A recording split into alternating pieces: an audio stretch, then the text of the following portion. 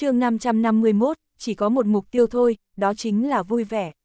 Được rồi, mọi người cũng không cần đứng ở cửa đâu, vào hết đi. Thủy quân tín dẫn đầu đi vào trong. Tân Uẩn bấu chặt vào tay Giang Sách, cơ thể hơi run lên. Cô nói nhỏ, người này trông đáng sợ quá, không giống người tốt gì, Giang Sách, anh phải cẩn thận. Giang Sách không nói gì, dắt Tân Uẩn đi vào. Kinh nghiệm nhiều năm nay cho Giang Sách biết Thủy Quân Tín quả thật có vấn đề, lần này nhận được thiệp mời hiển nhiên không phải vì Giang Sách mà là vì Tân Uẩn. Lại nhìn ánh mắt của những người đàn ông xung quanh, ai nấy đều mang vẻ hóng hớt, thế thì càng chứng minh rõ điều này. Sau khi vào sảnh, mọi thứ lại giống như một thế giới khác. Nơi này giống cung điện, trang hoàng vô cùng tráng lệ, vừa có điêu khắc vừa có tranh vẽ, đẹp không tả được. Đặc biệt là chùm đèn pha lê cực lớn trên đầu, đính gần nghìn viên pha lê, chỉ cần bật đèn lên, cả sảnh sẽ rực rỡ đủ sắc ánh sáng. Chỉ một chùm đèn này thôi cũng phải tới giá mấy triệu tệ mới vừa. Audio điện tử võ tấn bền. Không thể không thừa nhận rằng Thủy Quân Tín rất chịu chi. Từng bàn dài đồ ăn, thức uống toàn là đồ đẳng cấp, đêm nay tính mỗi tiền rượu chỗ này thôi cũng phải hàng triệu tệ hoặc chục triệu. Một chữ thôi, đắt. Nhìn khắp cái Nam Thành này, cũng chỉ có Thủy Vân Thiên mới đủ sức để tổ chức một buổi vũ hội hoành tráng thế này. Thủy Quân Tín bước lên sân khấu, khẽ vỗ lên micro, cười ha ha nói, xin chào các quý ông quý bà, hôm nay rất vinh hạnh khi mời được các vị đến tham gia vũ hội do tôi tổ chức. Đêm nay không có bất kỳ hạn chế nào, mọi người cứ chơi thỏa thích, ăn thoải mái, uống thả ga. Chỉ có một mục tiêu thôi, đó chính là vui vẻ. Bây giờ, mời mọi người lắc lư theo nhịp điệu âm nhạc. Lập tức, âm nhạc nhẹ nhàng trong sàn nhảy được đổi thành nhạc sôi động, ánh đèn lấp lánh, bóng người lắc lư. Những kẻ giàu sang ở đây cũng giải tỏa hết những cảm xúc đã bị đè nén từ lâu ra, không giả vờ lịch thiệp nữa, ai ôm bạn nhảy của người nấy, bắt đầu nhảy nhót tận tình ở vũ hội. Ánh mắt của Giang Sách cứ đảo quanh sàn nhảy, tìm hình bóng của Tiểu Điệp. Nếu đoán không sai thì Tiểu Điệp có lẽ sẽ xuất hiện ở nơi thế này. Tân Uẩn ở kế bên một chốc lại quay sang nhìn Giang Sách, tối nay cô ấy là bạn nhảy của Giang Sách, không phải đi ăn cơm với Giang Sách. Cô ấy vẫn muốn nhảy một bài với Giang Sách, thỏa nguyện vọng của mình. Nhưng nhìn Giang Sách có vẻ như không có ý đó lắm. Tân Uẩn có hơi thất vọng. Tại sao những người đàn ông khác đều phải thèm thuồng, nhưng duy chỉ Giang Sách dường như không có chút cảm tình gì với cô ấy. Là do cô ấy không đủ đẹp hay không đủ dịu dàng. Thật ra Tân Uẩn cũng biết đáp án. Giang Sách là người có gia đình, Giang Sách rất yêu vợ mình, sao có thể rung động với người phụ nữ khác chứ? Tân Uẩn nổi cơn ghen trong lòng, khẽ cắn môi, không cần biết Giang Sách có yêu mình không, không cần biết Giang Sách có gia đình hay chưa, đêm nay Giang Sách là của Tân Uẩn rồi, ai cũng đừng hòng cướp đi. Giang Sách, hử, chúng ta đừng ngồi không nữa, cũng đi nhảy một bài đi. Giang Sách ngớ người ra. Nhảy á, anh chẳng có chút thiên phú nào ở mặt này cả. chương 552, chỉ là hết cách nên mới phải phục tùng. Nhưng chưa kịp đợi anh từ chối, Tân Uẩn đã khoác tay anh, kéo anh dậy, hai người đi vào giữa sảnh, bắt đầu lắc lư theo nhịp điệu. Tân Uẩn thường ngày rất đoan trang giờ đây lại bộc lộ hết cảm xúc của mình ra. Cô ấy thích giang sách đấy thì sao? Chẳng lẽ thích một người cũng là sai? Không cần biết sau này thế nào, chỉ ít giờ phút này cô ấy muốn toàn tâm toàn ý ở bên cạnh giang sách, đời người có một lần thôi cũng đủ rồi. Dưới sự dẫn dắt của âm nhạc, dưới sự giúp đỡ của Tân Uẩn, cho dù Giang Sách không có tài năng gì với nhảy múa, cũng không cưỡng lại được mà bắt đầu lắc lư. Giang Sách và Tân Uẩn lần đầu tiếp xúc thân mật tới vậy. Ở góc phòng, Thủy Quân Tín ngồi vắt chân trên ghế, trong tay là ly rượu vang đang xoay đều. Tầm mắt của anh ta chỉ chăm chăm vào Tân Uẩn. Theo từng nhịp chuyển động cơ thể của Tân Uẩn, trái tim Thủy Quân Tín lại run rẩy thật mạnh, quá đỗi xinh đẹp, thật sự là quá đẹp. Hạng ngon thế này cũng phải ngàn năm mới gặp một lần ấy chứ. Bất kể là nhan sắc hay là cơ thể, đều đẹp đến không có chỗ chê, quan trọng nhất chính là cô ấy lại còn là người phụ nữ của kẻ khác. Thủy quân tín có bệnh tâm lý vặn vẹo thế này phải gọi là yêu thích không ngớt với người phụ nữ của người khác, đặc biệt là người phụ nữ xinh đẹp của người khác. Tân Uẩn chính là cô gái mà Thủy quân tín ước ao từ lâu. Anh ta thề, nhất định phải cướp được về tay. Một bài hát đã kết thúc. Tân Uẩn vẫn chưa thỏa mãn nhưng vẫn quay lại chỗ ngồi, mặt đỏ gay, tim đập rất nhanh, đây là khoảnh khắc vui nhất trong đời cô ấy. Cuối cùng giấc mơ cũng thành hiện thực. Cuối cùng cũng hoàn thành một bài nhảy với Giang Sách. đủ để nhớ lại cả đời. Lúc này, ánh mắt của Giang Sách quét đến một cô gái, sự chú ý lập tức chuyển sang hướng đó, không sai, cô gái đó chính là người phụ nữ mà Giang Sách đã tìm kiếm bấy lâu tiểu điệp. Xem như cuối cùng cũng tìm được cô. Giang Sách vỗ lên tay Tân Uẩn, cô ngồi đây nghỉ ngơi chút đi, tôi đi lấy ly nước cho cô. Ừ, được. Giang Sách đứng dậy rời khỏi chỗ ngồi, đi về phía tiểu điệp. Hôm nay tiểu điệp xuất hiện ở sàn nhảy này với thân phận là nhân viên phục vụ, đương nhiên, nếu có đại gia nào để ý cô ta, muốn cô ta nhảy chung, uống rượu, cô ta cũng sẽ không từ chối. Những cô gái như tiểu điệp trong sàn nhảy này đều do Thủy Quân Tín sắp xếp. Đàn ông đều là những kẻ trăng hoa. Không ai chỉ muốn nhảy với một người. Hơn nữa, hoa nhà làm gì thơm bằng hoa dại. Những người giàu kia đến đây tham gia vũ hội còn vì một nguyên nhân rất quan trọng, chính vì Thủy Quân Tín hiểu rõ đàn ông nên đã sắp xếp trước một lượng lớn các nữ phục vụ xinh đẹp. Nhảy chung, uống rượu cùng, nghĩ thôi cũng thấy vui. Đây cũng là nguyên nhân quan trọng của mỗi lần vũ hội đều có đầy khách. Giang sách đi về phía tiểu điệp. Nhưng chưa đợi anh mở lời, một tên giàu sổi đầu to tai lớn trông không khác gì chư bát giới cũng đi tới dành nói chuyện với tiểu điệp trước. Hi, em gái, ngồi với anh uống rượu nhảy nhót tí được không? Là nữ phục vụ, họ cũng không có quyền từ chối. Cho dù đối phương có xấu tới đâu, có không ra người ngợm tới đâu họ cũng phải chấp nhận. Tiểu điệp cười mỉm đáp, được thôi. Tên giàu sổi đưa tay muốn khoác eo tiểu điệp, tuy rằng tiểu điệp không né ra nhưng cái khẽ cao mày của cô ta cũng thấy rõ cô ta rất không vui. Chỉ là hết cách nên mới phải phục tùng. Ngay lúc tên béo sắp ôm tới thì một cánh tay to lớn khác vỗ tay hắn ta ra, khiến hắn ta đau kêu ré lên. Là thằng khốn nào? Vừa quay người lại chỉ thấy Giang Sách đứng bên cạnh, đôi mắt như hồ nước đóng băng, lạnh lẽo cắt tim. chương 553, người đàn ông này không chỉ giàu mà còn rất to gan. Tên béo giàu sổi này biết Giang Sách, đã từng thấy sự uy phong của Giang Sách trong buổi đấu giá, nhưng dù thế nào đi nữa, quy tắc của vũ hội là ai hẹn trước sẽ thuộc về người đó, không ai được giành. Đến đây toàn là nhà giàu chứ danh, nếu bị cướp phụ nữ đi thì còn gì mặt mũi. Tên béo dầu sổi lạnh lùng nói, sao vậy, anh Giang cũng thích cô phục vụ này à? Giang sách không nói, nhưng có thể thấy từ hành động của anh rằng, anh muốn tiểu điệp. Tên béo dầu sổi bĩu môi, anh không hiểu quy củ của vũ hội à? Ai đến trước thì hưởng trước. Người phụ nữ tôi để ý trước thì phải là của tôi. Sau đó, hắn ta cười khúc khích, nếu anh thật sự muốn thì cũng không phải là không được, cô phục vụ này là của anh, đổi người phụ nữ của anh cho tôi chơi một lát là được. Hắn ta đã để mắt đến Tân Uẩn từ lâu. Dù sao thì một người phụ nữ xinh đẹp như vậy rất bắt mắt ở một nơi như thế này. Có bao nhiêu người trong số những người đàn ông đến đây là đơn giản chứ? Tất cả mọi người đều có ý đồ không tốt, giống như một con sói hoang đói khát, khi nhìn thấy một con cừu trắng nhỏ như Tân Uẩn, làm gì có ai không ham đến chảy rãi. Người phụ nữ này thực sự quá hấp dẫn.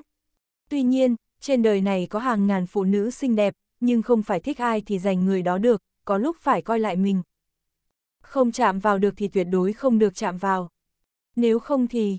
Giang sách ghét tên này đến cùng cực, lần đầu đến anh không hiểu nhiều quy tắc như vậy, chỉ có một quy tắc duy nhất dành cho anh bất cứ ai xúc phạm anh đều phải bị trừng phạt.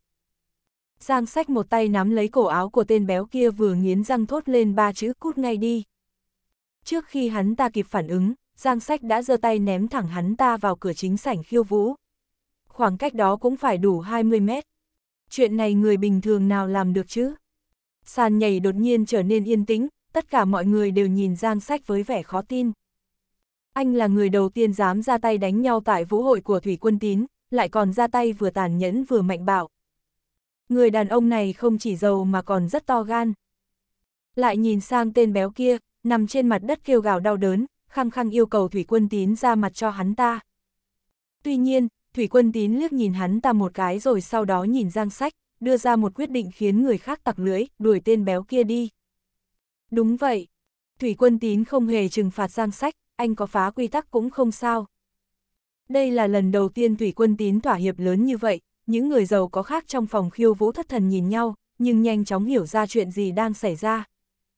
Thủy Quân Tín thích Tân Uẩn, làm sao anh ta có thể đuổi Giang Sách đi trước khi có được người phụ nữ này chứ?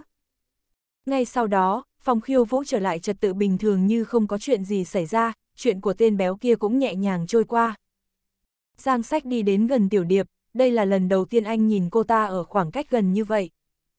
Người phụ nữ này toàn thân đầy cám dỗ, nhưng cũng mang đến cảm giác kỳ quái rằng trên người cô ta đầy gai, giống như một đóa hồng đầy gai độc, kiều diễm nhưng cũng chết người. Giang sách biết rằng đây là một cảm giác đặc biệt đến từ việc bị áp bức lâu năm. Tiểu điệp mấy năm nay chắc chắn đã rất khổ sở. chương 554, cô ta có muốn ra khỏi đây không? Nhìn thấy Giang sách đến gần, cơ thể tiểu điệp run lên, đồng thời cũng nở một nụ cười nhẹ. Cô ta không thật sự cười, mà là nụ cười công nghiệp, phụ nữ giống cô ta lúc đối diện với khách hàng là bắt buộc phải cười, nếu không kết quả sẽ rất thảm thương. Sau khi nhìn thấy sự lợi hại của Giang Sách, Tiểu Điệp không dám bất cẩn, vì sợ làm cho Giang Sách bất mãn, cô ta bước lên trước nói, anh Giang, anh có muốn tôi khiêu vũ với anh không? Chuyện khác, Giang Sách bày ra sắc mặt lạnh lùng. Anh không trả lời, mà nhẹ nhàng cầm một chai rượu vang đỏ trên bàn rượu bên cạnh Tiểu Điệp lên, rót đầy một ly, cầm ly rượu trong tay từ từ nếm rượu, cứ như không nhìn thấy Tiểu Điệp. Điều này khiến Tiểu Điệp hơi xấu hổ. Uống được nửa chén, Giang Sách hỏi một câu có vẻ vô nghĩa, cô là Tiểu Điệp phải không? Đúng. Cô có muốn rời đi không? Tiểu Điệp sướng sờ, câu hỏi gì vậy? Rời đi, đi đâu? Giang Sách tiếp tục, tôi có một người bạn tên là Tôn Tại Ngôn, anh ta lúc nào cũng nhớ đến cô, nếu cô muốn rời đi, tôi có thể đưa cô rời khỏi đây bất cứ lúc nào, đưa cô đi gặp lại anh ấy. Đùng, đùng, đùng. Lời nói của Giang Sách như sấm nổ liên tục trong tâm trí Tiểu Điệp. Một cái tên từ lâu rồi không nghe, một quá khứ đau buồn trỗi dậy từ trái tim cô ta, cho dù cô ta có được đào tạo bài bản đến đâu thì lúc này nước mắt cũng không thể kiềm chế mà tuôn ra. Tôn tại ngôn, tôn tại ngôn. Nhiều năm trước, Tiểu Điệp vì tin lời tôn tại ngôn, muốn chạy trốn cùng anh ta, nhưng lại bị chủ nhà họ tôn bán đến Nam Thành, trở thành vũ nữ của Thủy Vân Thiên, sống một cuộc sống không bằng chết. Cô ta vốn tưởng rằng sẽ như vậy cả đời, ai ngờ nhiều năm sau lại có người nhắc tới cái tên này ở trước mặt cô ta. Tiểu điệp trừng mắt nhìn Giang Sách, tôn tại ngôn, ha ha, tên cầm thú đã hủy hoại cuộc đời tôi, tôi sẽ không bao giờ quay lại với anh ta. Giang Sách nói, cô biết không phải anh ta đã hủy hoại cô, thậm chí anh ta còn là nạn nhân của vụ việc đó. Một câu người bị hại là song ư, tiểu điệp kìm nước mắt nói, anh có biết tôi sống thế nào suốt mấy năm nay không? Tôi thà chết chứ không chịu quay về với tên cầm thú đó. Sao cô phải thế này? Giang sách nhét danh thiếp vào tay tiểu điệp, bây giờ cô đang tức giận, tôi nói gì cũng vô dụng. Khi nào cô bình tĩnh lại có thể gọi cho tôi, chỉ cần cô nói thì tôi có thể đưa cô ra khỏi đây. Nói rồi anh đưa mắt nhìn xung quanh, tiểu điệp, tôi tin rằng cô hẳn là không thích nơi này, ở đây, cô chỉ là công cụ để bọn giàu có này mua vui, không có tự do, không có nhân quyền. Cô vốn là một con bướm đẹp mà, tin tôi đi, tôi có thể đưa cô về bên cạnh tôn tại ngôn, để mùa xuân đến muộn có thể sưởi ấm trái tim cô. Nói xong, Giang Sách xoay người rời đi. Tiểu Điệp nhìn danh thiếp trong tay rồi trầm ngâm. Cô ta có muốn ra khỏi đây không? Tất nhiên có. Chỉ là cô ta không thể buông bỏ những gì đã xảy ra khi đó, cô ta không thể quên được sự tra tấn mà cô ta đã phải chịu đựng trong nhiều năm qua. Nếu không có tồn tại ngôn, cô ta sẽ không thể sống vất vả như vậy. Giờ muốn cô ta quên hết tủi nhục mà quay về bên cạnh người đàn ông đó, ha ha, làm sao được đây? Mặc dù, dù tận sâu trong tim, cô ta vẫn chưa bao giờ quên được nụ cười của người đàn ông đó, vẫn mang theo hơi ấm của người đàn ông đó. Khi Giang Sách đang quay trở lại, anh phát hiện ra một chuyện rất bối rối Thủy Quân Tín không biết từ lúc nào đã đến trước mặt Tân Uẩn, vừa nói vừa cười với Tân Uẩn. Nhưng Tân Uẩn rất không vui chương 555, vật họp theo loài. Giang Sách cao mày, bước nhanh tới. Ngay khi Tân Uẩn nhìn thấy Giang Sách đang đến gần, cô ấy nhanh chóng đứng dậy muốn đi đến bên cạnh Giang Sách, nhưng Thủy Quân Tín dường như đã đoán trước được hành động của Tân Uẩn nên đã bước một bước chặn Tân Uẩn một cách đột ngột. Tân Uẩn không đứng vững mà ngã ngồi về chỗ của mình. Thủy Quân Tín nhìn Tân Uẩn từ trên xuống, trong mắt hiện lên một tia ác ý, đôi lúc lại còn thè lưỡi liếm môi. Anh ta thực sự yêu người phụ nữ này chết mất. Giang Sách, Tân Uẩn lo lắng, vừa tức giận vừa bất lực, vì vậy phải cầu cứu Giang Sách. Thủy Quân Tín biết rằng Giang Sách đang đứng sau anh ta, nhưng anh ta không có ý định nhường đường chút nào, anh ta tận hưởng cảm giác chen giữa những cặp tình nhân thế này. Rất sung sướng. Anh ta thích nhìn thấy đôi mắt của những người phụ nữ bất lực tìm kiếm sự bảo vệ. Bằng cách chặn Giang Sách, anh ta sẽ luôn có thể nhìn thấy đôi mắt đau khổ và bất lực của Tân Uẩn, thỏa mãn sự lập dị của Thủy Quân Tín ở mức độ lớn nhất. Cùng lúc đó, một số thuộc hạ của Thủy Quân Tín cũng chạy đến, chặn đường Giang Sách, không cho Giang Sách có cơ hội tiếp cận. Ngay lập tức, những người khác trong sàn nhảy dừng lại những gì họ đang làm và nhìn về hướng của Giang Sách. Họ biết rất rõ rằng sự kiện chính của đêm nay sắp diễn ra. Đây không phải là lần đầu tiên xảy ra cảnh tượng như vậy, trước đó đã diễn ra rất nhiều lần. Dựa vào địa vị của mình, Thủy Quân Tín đã không chỉ một lần bắt nạt những người phụ nữ khác trước mặt những người đàn ông của họ, tận hưởng cảnh tượng kinh tởm đó. Nhiều người có mặt tại hiện trường cũng có cùng sở thích với Thủy Quân Tín. Vật họp theo loài Buổi khiêu vũ hôm nay được chuẩn bị đặc biệt cho Giang Sách và Tân Uẩn, từ lúc họ bước vào là đã xác định đến chuyện bi kịch sắp sửa diễn ra vào tối nay. Thủy Quân Tín hất tóc, vươn tay cởi cúc áo cổ và hít thở sâu vài cái. Một động tác như vậy thực sự khiến Tân Uẩn sợ hãi. Cô ấy chỉ muốn khiêu vũ cùng Giang Sách mới đến đây, hoàn toàn không muốn tiếp xúc thân mật với bất cứ người đàn ông nào khác, nhưng nhìn thấy Thủy Quân Tín như thế này, chẳng lẽ lại dở trò chiếm đoạt ở đây ư? Trong phút chốc, nỗi sợ hãi lan tràn khắp cơ thể. Cho dù là một người phụ nữ lạnh lùng như Tân Uẩn cũng không biết phải làm sao vào lúc này, phản kháng. Cô ấy chỉ là một người phụ nữ yếu đuối, làm sao có thể chống lại được. Giang sách, giang sách. Audio điện tử võ tấn bền chương 556, đây là vinh dự của anh. Điều duy nhất cô có thể mong đợi lúc này là giang sách. Nhìn thấy bộ dạng vừa sợ hãi vừa hoảng hốt của Tân Uẩn, Thủy Quân Tín càng phấn khích, đây là kết quả mà anh ta muốn, rất tuyệt, rất tốt. Nếu Giang Sách không có ở đây, sẽ không thể đạt được hiệu quả như vậy. Anh ta vui mừng và thấy may vì vừa rồi không đuổi Giang Sách đi, để Giang Sách ở lại quả thực là một lựa chọn đúng đắn. Khi phụ nữ sợ hãi, nếu người đàn ông của mình ở bên cạnh, cô ấy sẽ cố gắng hết sức để cầu xin người đàn ông của mình giúp đỡ, và nếu người đàn ông của mình không cứu được, người phụ nữ sẽ càng tuyệt vọng hơn. Sự thất vọng do bị phá vỡ hy vọng của đối phương còn sảng khoái hơn nhiều so với việc khiến đối phương thất vọng ngay từ đầu. Tốt lắm, tiếp tục kêu gào đi. Một âm thanh thật mỹ miều, đã lâu rồi tôi chưa hưởng thụ được một âm thanh tuyệt vời như vậy. Tân Uẩn, cô thực sự là một món quà tuyệt vời, có thể nhìn thấy một món quát hoàn hảo thế này ở Nam Thành, Thủy Quân Tín tôi đúng là phước ba đời. Anh ta cười thành tiếng, tiếng cười mới kinh dị, đê tiện, ghê tởm làm sao. Tuy nhiên, ngay khi anh ta đang cười hạnh phúc thì một bàn tay gõ nhẹ lên vai anh ta. Hửm, tiếng cười đột ngột dừng lại, Thủy Quân Tín quay đầu lại, nhìn thấy Giang Sách đang đứng phía sau mình. Sao lại thế này? Thủy Quân Tín nhìn xuống một cái, ôi trời ơi, không biết từ lúc nào, cả bảy tám tên thuộc hạ của anh ta đã nằm lăn ra đất, sùi bọt mép bất tỉnh nhân sự. Trong vòng chưa đầy 5 giây, không có một âm thanh đánh nhau dữ dội nào, vậy mà tất cả thuộc hạ của anh ta đều đã bị giết. Thủy quân tín sửng sốt, thủ đoạn của Giang Sách quá ư ghê gớm rồi đấy. Anh ta nuốt nước bọt, lạnh lùng nói, Giang Sách, tôi ra lệnh cho anh lùi lại 5 mét, không được nhúc nhích. Giang Sách bày ra vẻ mặt vô cảm. Thủy quân tín cau mày nói, anh có vẻ rất không hài lòng nhỉ. Ha ha, anh có chút tiền thật đấy, nhưng ít tiền của anh không đáng để nhắc tới trước mặt Thủy Vân Thiên chúng tôi. Ở Nam Thành, sự tồn tại của Thủy Vân Thiên chúng tôi là bất khả chiến bại, bất cứ ai đến đây đều phải nể mặt chúng tôi. Tôi nói thẳng, hôm nay, tôi để ý người phụ nữ của anh rồi. Đây là vinh dự của anh. Nhưng anh không phải lo lắng, tôi sẽ không cướp của anh làm gì, tôi chỉ mượn chơi một đêm, chỉ cần một đêm, chơi xong đêm nay, sáng mai anh có thể đến đón đi, không giữ lại làm gì. Thủy quân tín cười nhếch môi nói, nếu anh không yên tâm thì tôi có thể để anh đứng cạnh giám sát, tôi đảm bảo sẽ không chơi hư cô ta đâu chương 557, anh muốn chết ư, thế nào, tôi làm người công đạo lắm phải không? Công đạo, một tên cặn bã thế này cũng dám nhắc hai chữ công đạo. Giang sách lúc này không động đậy, không nhìn ra biểu cảm gì, giống như một pho tượng.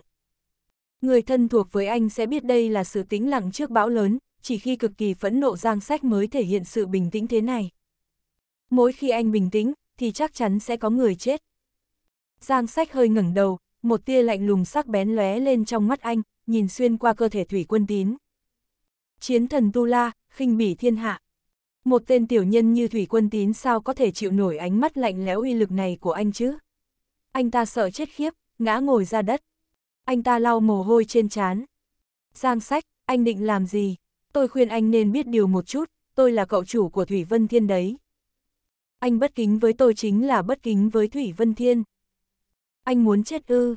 Giang sách vẫn không nói gì, càng bình tĩnh càng làm người khác sợ hãi. Thủy quân tín chịu hết nổi, khí phách mạnh mẽ chân áp thế này khiến anh ta không thở được. Anh ta vội bò dậy chạy sang một bên, lập tức chỉ huy thuộc hạ, mau bắt tên đó lại cho tôi, đừng giết chết, trói lại là được.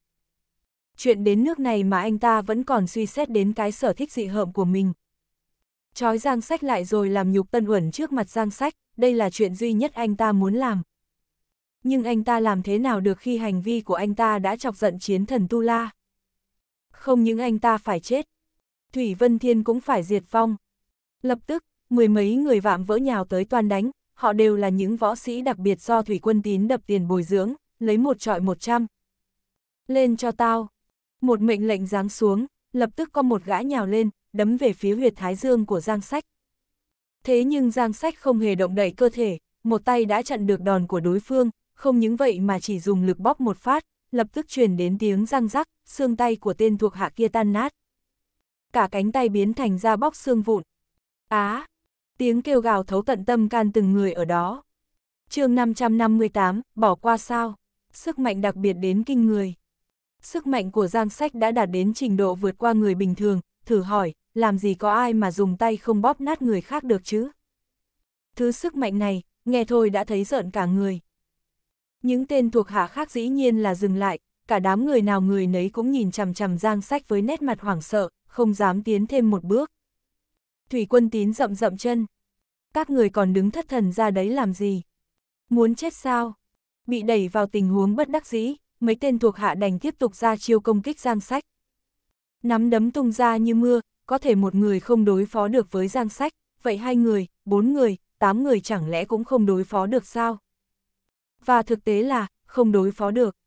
Giang Sách đung đưa như chiếc lá không ngừng lắc lư trong gió, cho dù nắm đấm của đám người đó có nhanh đến đâu cũng không thể chạm vào một cọng lông tơ trên người Giang Sách. Thậm chí, chỉ cần bọn họ hơi lơ đễnh một chút thôi là nắm đấm của Giang Sách sẽ tung lên. Bốp!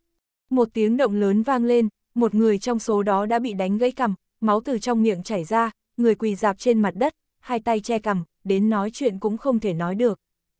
Bốp bốp! Hai tiếng động lớn liên tiếp vang lên, lại có thêm hai tên thuộc hạ nữa nằm gục xuống đất. Lần này, một người bị chật khớp cánh tay, người còn lại vì né kịp nên không chết, nhưng một bên tai đã bị cú đấm của Giang Sách đánh hỏng. Sức mạnh này, thật kinh người. Nhìn thấy sức mạnh quỷ dị khó lường và thân hình đó, những tên thuộc hạ khác đều biết người này tuyệt đối không phải người dễ chọc vào, nếu cứ tiếp tục chiến đấu theo cách này, chỉ sợ tất cả bọn họ sẽ mất mạng. Vì thế, một người trong số đó đã nhắm về phía Tân Uẩn, anh ta muốn thông qua việc bắt cóc Tân Uẩn để ép Giang Sách phải phục tùng theo. Thực tế thì, anh ta đã suy nghĩ nhiều rồi. Làm như vậy chỉ khiến anh ta chết nhanh hơn thôi. Khi tên thuộc hạ kia còn chưa kịp tới bên cạnh Tân Uẩn, Giang Sách đã xoay nửa người, dùng một chân đá thẳng vào bụng anh ta, chớp mắt một cái, cơ thể tên thuộc hạ đó hệt như một quả bóng cao su bay ra ngoài, rồi đâm thẳng vào tường, mạnh mẽ đến độ vách tường nơi anh ta đụng chúng bị lõm hẳn một chỗ. Người đàn ông đó, không chết thì cũng thành tàn tật.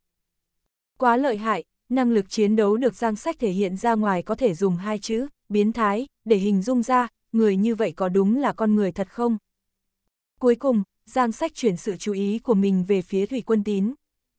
Cách làm của anh ta hôm nay đã hoàn toàn khơi dậy ngọn lửa giận dữ trong lòng Giang Sách, không thể có chuyện anh ta không trả một cái giá đắt.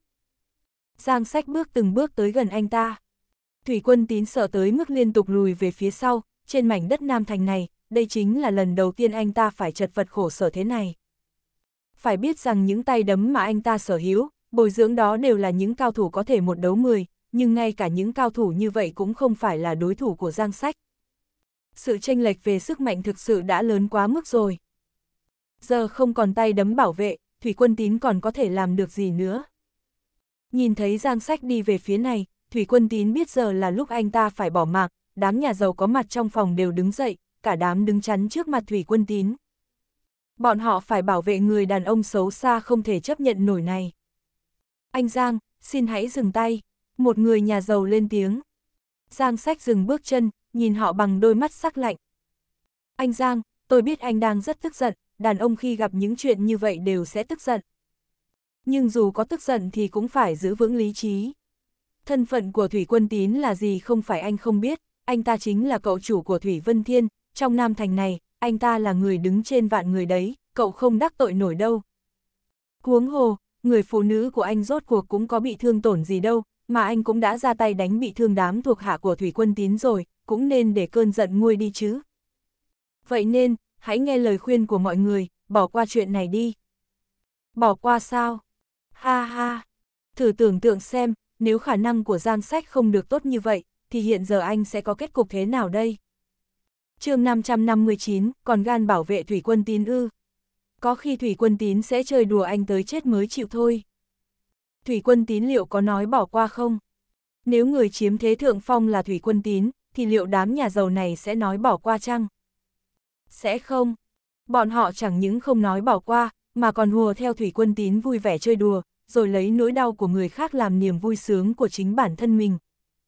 Suy cho cùng, sở dĩ họ muốn giữ lại mạng của Thủy Quân Tín cũng chỉ là để sau này có thể hưởng thụ thêm nhiều nhiều cuộc vui, đương nhiên, đó cũng có thể là vì muốn Thủy Quân Tín nhớ ngày hôm nay và coi như nợ bọn họ một ân tình, sau này anh ta sẽ từ từ đền đáp lại.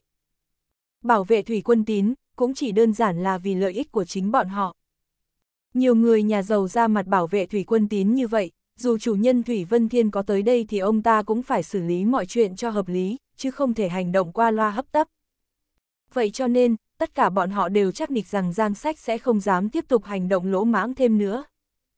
Dù có không nể mặt hay để Thủy Vân Thiên vào mắt, nhưng nhìn ở hiện trường đang có hơn 10 vị nhà giàu thế này, anh chắc cũng phải nhường bước chứ. Lúc này, cuối cùng Thủy Vân Thiên cũng thở vào một hơi nhẹ nhõm. Vừa rồi anh ta bị dọa sợ chết khiếp, nếu Giang Sách thật sự ra tay thì anh ta làm gì có cơ hội nào để sống sót. Giờ đã có nhiều người đứng ra bảo vệ anh ta, cuối cùng cái mạng nhỏ này của anh ta cũng được an toàn rồi. Phía sau, Tân Uẩn cắn cắn môi, thầm nghĩ.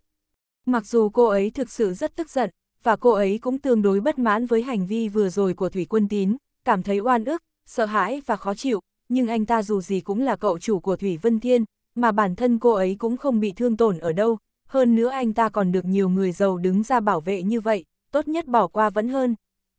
So với việc chút giận của mình, cô ấy sợ Giang Sách sẽ bị thương hơn. Tân Uẩn thở dài, vừa định mở miệng khuyên bảo Giang Sách một câu, nhưng kết quả Giang Sách đã đi thẳng về phía trước một bước, đối diện với người nhà giàu đứng hàng đầu, nói ông dám đứng ra xin tha cho Thủy Quân Tín, vậy thì, đồng lõa. Vừa dứt lời, Giang Sách như một tia chớp tiến tới bên cạnh người nọ, lòng bàn tay cắt ngang qua cánh tay anh ta, một tiếng, phụt, lập tức vang lên, cánh tay người nọ bị lìa khỏi người, máu tươi chảy ràn rụa. Cảnh tượng này khiến mọi người đứng xem đều ngây ngốc. Giang sách đây là không thèm để tâm tới, hay là vì tức giận nên hồ đồ. Anh không những không nương tay, mà còn chặt đứt một cánh tay của người nhà giàu ra mặt bảo vệ thủy quân tín, quá bá đạo, quả thực có thể dùng từ không coi ai ra gì để hình dung. Giang sách, cậu điên rồi sao? Một người nhà giàu khác hô to. Giang sách liếc mắt nhìn qua, đồng thời, dùng một chân đá ghế dựa về phía đó, chân ghế dựa đập thẳng vào chán người kia, máu tươi phun ra bên ngoài, cả người ngã nhào xuống đất. Bá đạo, quá bá đạo.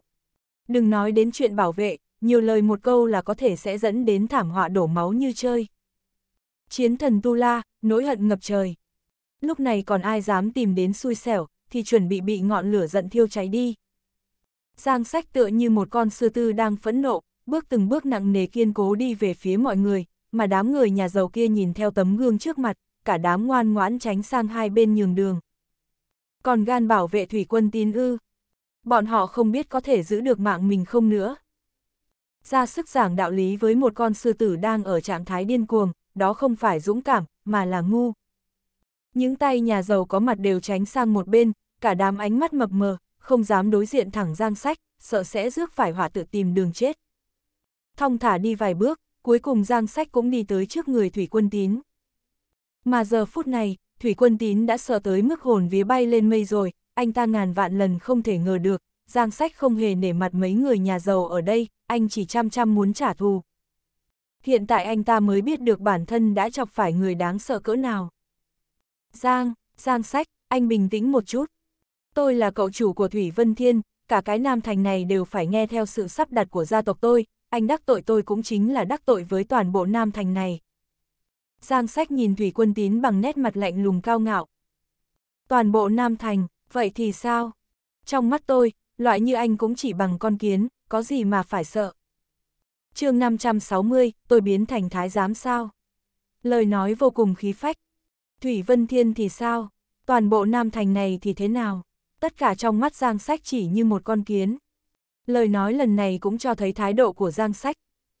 Tiếng thình thịch vang lên, Thủy Quân Tín bị dọa sợ đến nỗi ngã ngồi dưới đất, thở hổn hển, bản thân anh ta cũng không biết giờ phút này nên làm cái gì mới tốt. Anh, anh không thể như vậy. Tôi là cậu chủ của Thủy Vân Thiên, anh không thể giết tôi. Giang sách híp mắt nhìn anh ta một cái, sau đó hờ hững nói, được, tôi không giết anh. Lúc này khuôn mặt Thủy Quân Tín mới lộ vẻ tươi cười, đưa tay xoa xoa cái chán chảy đầy mồ hôi lạnh. Ha ha, vừa mới nói mấy lời dọa người như vậy, Trung Quy vẫn sợ hãi thế lực của Thủy Vân Thiên sao. Còn giả bộ làm sói đuôi to à. Ngay thời điểm Thủy Quân Tín chuẩn bị đứng lên, anh ta không ngờ Giang Sách lại lấy ra mấy cây kim bạc, nhất thời không hiểu đối phương muốn làm gì. Anh định làm gì? Lấy kim bạc ra làm gì? Giang Sách nhẹ giọng nói, chắc hẳn anh cũng biết, đây là biển thước thần châm tôi vừa đấu giá được, đúng dịp hôm nay có thể bắt anh ra làm vật thí nghiệm. Cái quỷ gì vậy? Thủy quân tín nhíu nhíu mày, anh ta ngồi trên mặt đất lê lết lùi về phía sau, miệng nói tôi không phải vật phẩm thí nghiệm của anh, anh cút ngay cho tôi. Chuyện Giang Sách đã quyết định, Thủy Quân Tín có thể ngăn cản được sao? Anh nhấc một chân dẫm lên người Thủy Quân Tín, đạp mạnh khiến anh ta nằm im trên mặt đất, sau đó duỗi tay ra lấy kim châm, ghim kim vào từng huyệt đạo trên người Thủy Quân Tín. Đám người giàu đưa mắt nhìn nhau, nhưng không ai dám mở miệng nói một từ. Một lát sau, Giang Sách hoàn thành hết các thao tác xong thì khẽ gật đầu, sau đó lại tháo hết kim bạc ra. Cũng tốt, Giang Sách thu kim bạc về. Thủy Quân Tín thở một hơi nhẹ nhõm, chỉ đơn giản là đâm mấy cái kim đó thôi sao. Sau đó sẽ không có chuyện gì chứ. Mặc dù không biết Giang Sách đang làm gì, nhưng nhìn qua thì giống như Giang Sách thật sự không định tiếp tục đối phó anh ta nữa. Vì thế, Thủy Quân Tín định bò dậy khỏi mặt đất. Nhưng anh ta xấu hổ phát hiện ra, đôi chân của anh ta không nghe theo sự sai khiến của anh ta nữa, muốn động cũng không động đậy được. Giang Sách, anh đã làm gì chân tôi hả? Tại sao hai chân của tôi lại không cử động được? Đây mới chỉ là bắt đầu, giây tiếp theo, Thủy Quân Tín mất khống chế tiểu tiện, căn bản là không thể khống chế nổi. Trên mặt đất xuất hiện một vũng chất lỏng ghê tởm, khiến tất cả những người có mặt nhìn thấy buồn nôn. Giang sách cầm tay Tân Uẩn, nói chúng ta về thôi. Tân Uẩn tò mò hỏi, anh đã làm gì anh ta vậy? Giang sách ra vẻ thần bí trả lời, chỉ là chút cảnh cáo nho nhỏ dành cho anh ta thôi, từ nay về sau, anh ta sẽ không thể đụng vào phụ nữ nữa. Tân Uẩn vốn là một người tinh thông trong lĩnh vực y học, nên đương nhiên vừa nghe cô ấy đã hiểu ra ý nghĩa trong câu nói. Hai người họ nắm tay cùng rời khỏi phòng khiêu vũ. Bên cạnh đó, không một ai trong số đám nhà giàu kia dám tiến lên trước một bước ngăn cản, họ nhìn Giang Sách như nhìn thần chết vậy, tránh rất xa. Lại quay qua nhìn Thủy Quân Tín, anh ta vẫn đang nằm liệt trên mặt đất, đau đớn kêu rên. Cơ thể không chịu nghe theo sự khống chế của anh ta, mỗi một phút trôi qua đều có khả năng làm bậy, mà đáng sợ hơn chính là, anh ta phát hiện bộ phận nào đó của anh ta đã bị mất đi tác dụng vốn có của nó, không có hứng nữa. Tôi biến thành thái giám sao? Giang sách, anh quay lại đây, anh quay lại đây mau. Tôi không muốn làm thái giám, anh mau quay lại cứu tôi. Nhưng dù anh ta có kêu gào to thế nào thì Giang Sách cũng đã biến mất hoàn toàn rồi, đường đường là cậu chủ của Thủy Vân Thiên, vậy mà từ nay về sau lại trở thành một kẻ tàn phế.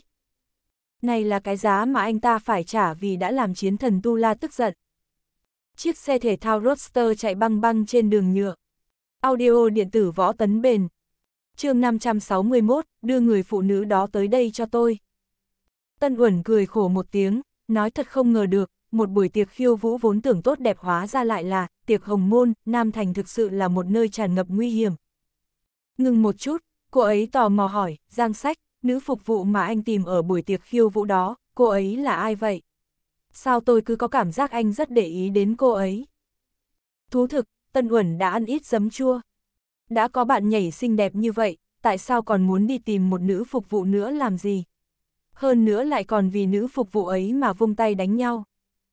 Giang Sách trả lời, thật ra, lần này tới Nam Thành, ngoài việc giúp cô cứu bố ra thì còn một mục đích khác nữa, đó chính là cứu nữ phục vụ kia. a à, hai người quen nhau sao? Tôi và cô ấy không quen biết, nhưng cô ấy là người mà một người bạn của tôi yêu say đắm, sau nhiều năm tìm hiểu mới biết được cô ấy bị Thủy Vân Thiên khống chế. Vì để người bạn của tôi có thể gặp lại người mà anh ta yêu thương, tôi cần phải đưa cô ấy trở về. Nghe Giang Sách nói như vậy, lòng ghen tuông của Tân Uẩn lập tức biến mất. Nếu cô gái kia là người yêu của bạn tốt anh, vậy thì đó không thể là người mà Giang Sách có thể thích, lòng ghen tuông của Tân Uẩn tất nhiên sẽ không vô lý như vậy. Sau khi đã yên tâm rồi, Tân Uẩn mới có thể an ổn ngồi trên xe, theo anh trở lại khách sạn. Chấm chấm. Cùng lúc đó, tại một câu lạc bộ đêm bên cạnh phòng khiêu vũ, trong một căn phòng sang trọng. Một ông già tóc trắng xóa ngồi trên sofa, người này chính là vua của Nam Thành, chủ nhân Thủy Vân Thiên Thủy Thanh Diệu.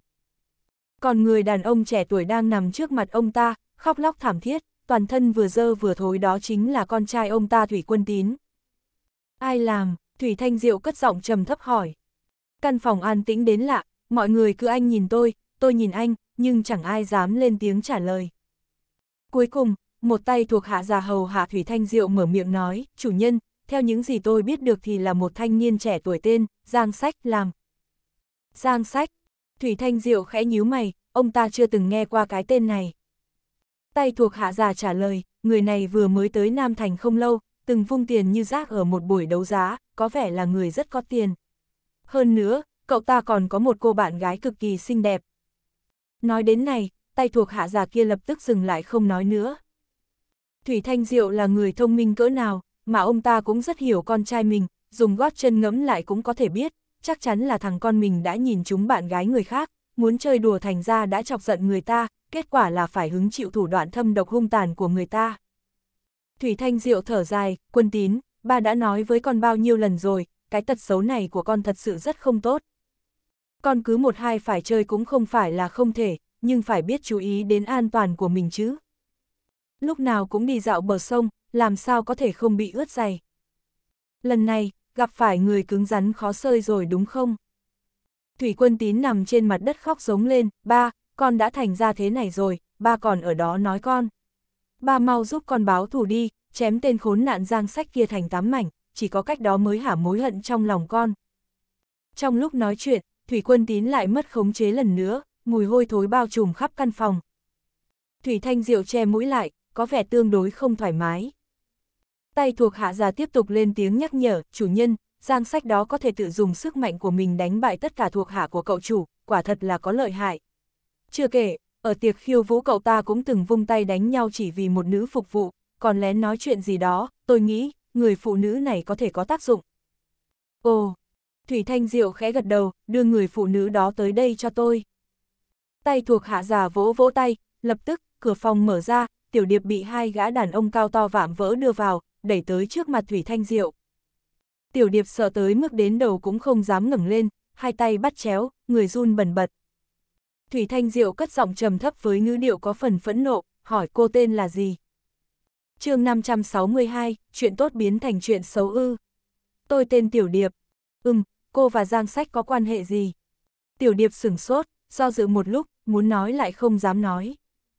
Nơi đáy mắt Thủy Thanh Diệu lóe lên một tia sáng lạnh lẽo, khiến Tiểu Điệp ngay lập tức cảm giác như có một con dao sắc bén đang dí sát cổ cô ta. Anh ta thực ra là... Tiểu Điệp không dám giấu giếm bất cứ cái gì nữa, nói thẳng đầu đuôi gốc ngọn mọi chuyện mà cô ta biết, kể tất cả cho Thủy Thanh Diệu nghe. Thủy Thanh Diệu nghe xong, ông ta ngẩng đầu nhìn lên trần nhà. Thật không ngờ, hóa ra cô vẫn còn một quá khứ như vậy. Xem ra, mục đích giang sách kia tới đây chắc hẳn là vì cô rồi. Nói rồi, ông ta nhìn chằm chằm tiểu điệp, mở miệng nói, giờ cô hãy gọi điện thoại cho giang sách, nói với cậu ta rằng, cô đồng ý đi cùng cậu ta, tôi sẽ cho cô thời gian địa điểm. Hả? Tiểu điệp không hiểu lắm, rốt cuộc Thủy Thanh Diệu muốn làm gì? Muốn thả cô ta đi sao? Suy nghĩ cẩn thận, không đúng.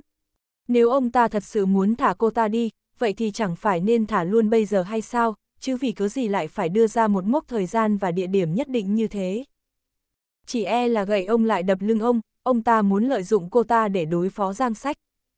Biết rõ đây là mưu kế của đối phương, nhưng tiểu điệp lại không đủ dũng khí để từ chối, nếu giờ cô ta dám nói nửa chữ, không thôi, sợ là cô ta sẽ lập tức bị Thủy Thanh Diệu tra tấn đến chết mới thôi.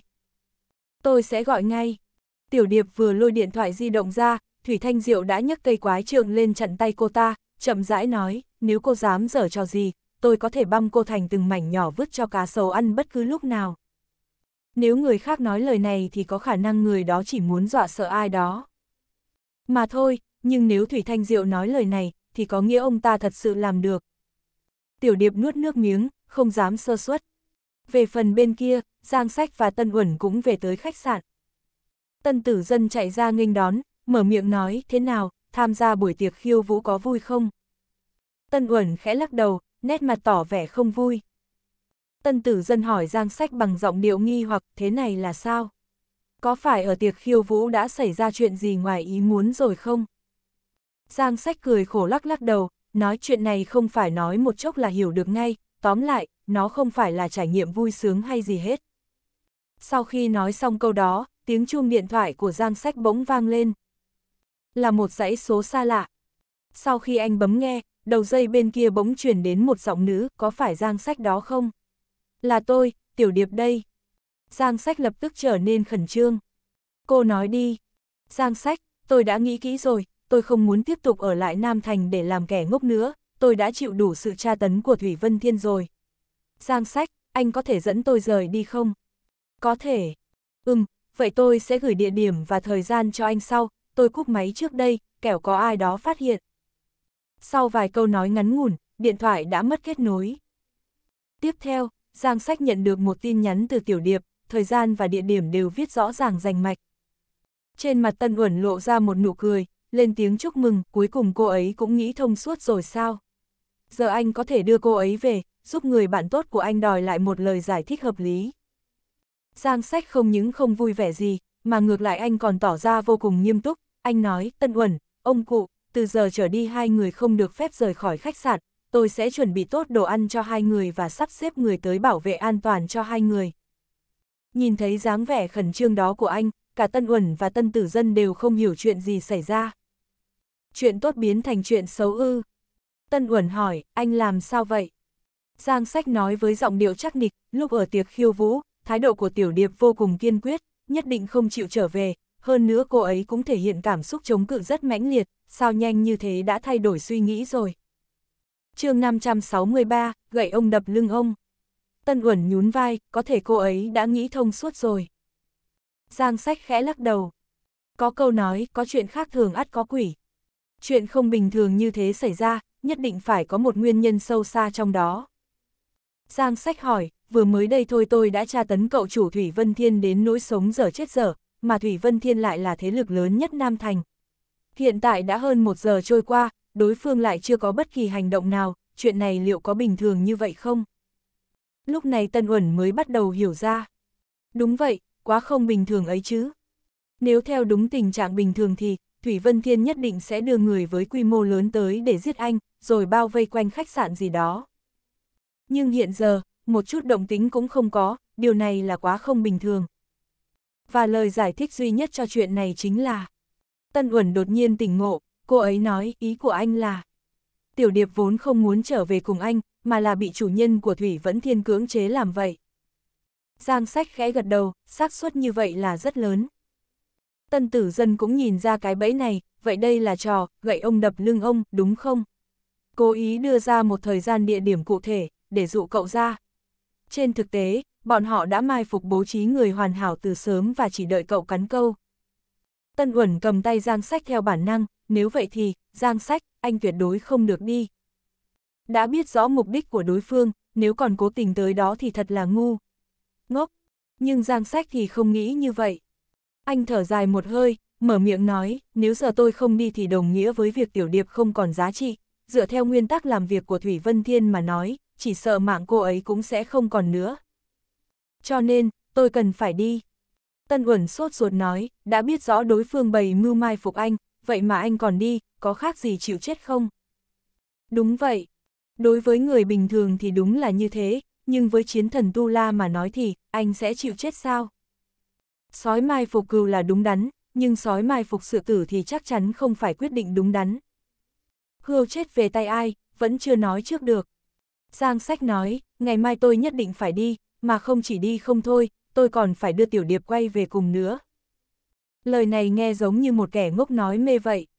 Chính bản thân anh có thể sống sót hay không còn chưa nói trước được, vậy mà anh lại mơ mộng hão huyền đòi cứu tiểu điệp. Điên rồi, thật sự điên rồi. Tân Uẩn khóc đến nơi rồi, cô ấy thật sự không nhìn được cảnh Giang Sách đi chịu chết như thế, nói, không được, Giang Sách, anh không được phép đi. Giang Sách không nói gì thêm, chỉ nhìn cô ấy rồi hỏi một vấn đề bằng giọng điệu vô cùng bình tĩnh, cô tin tưởng tôi không?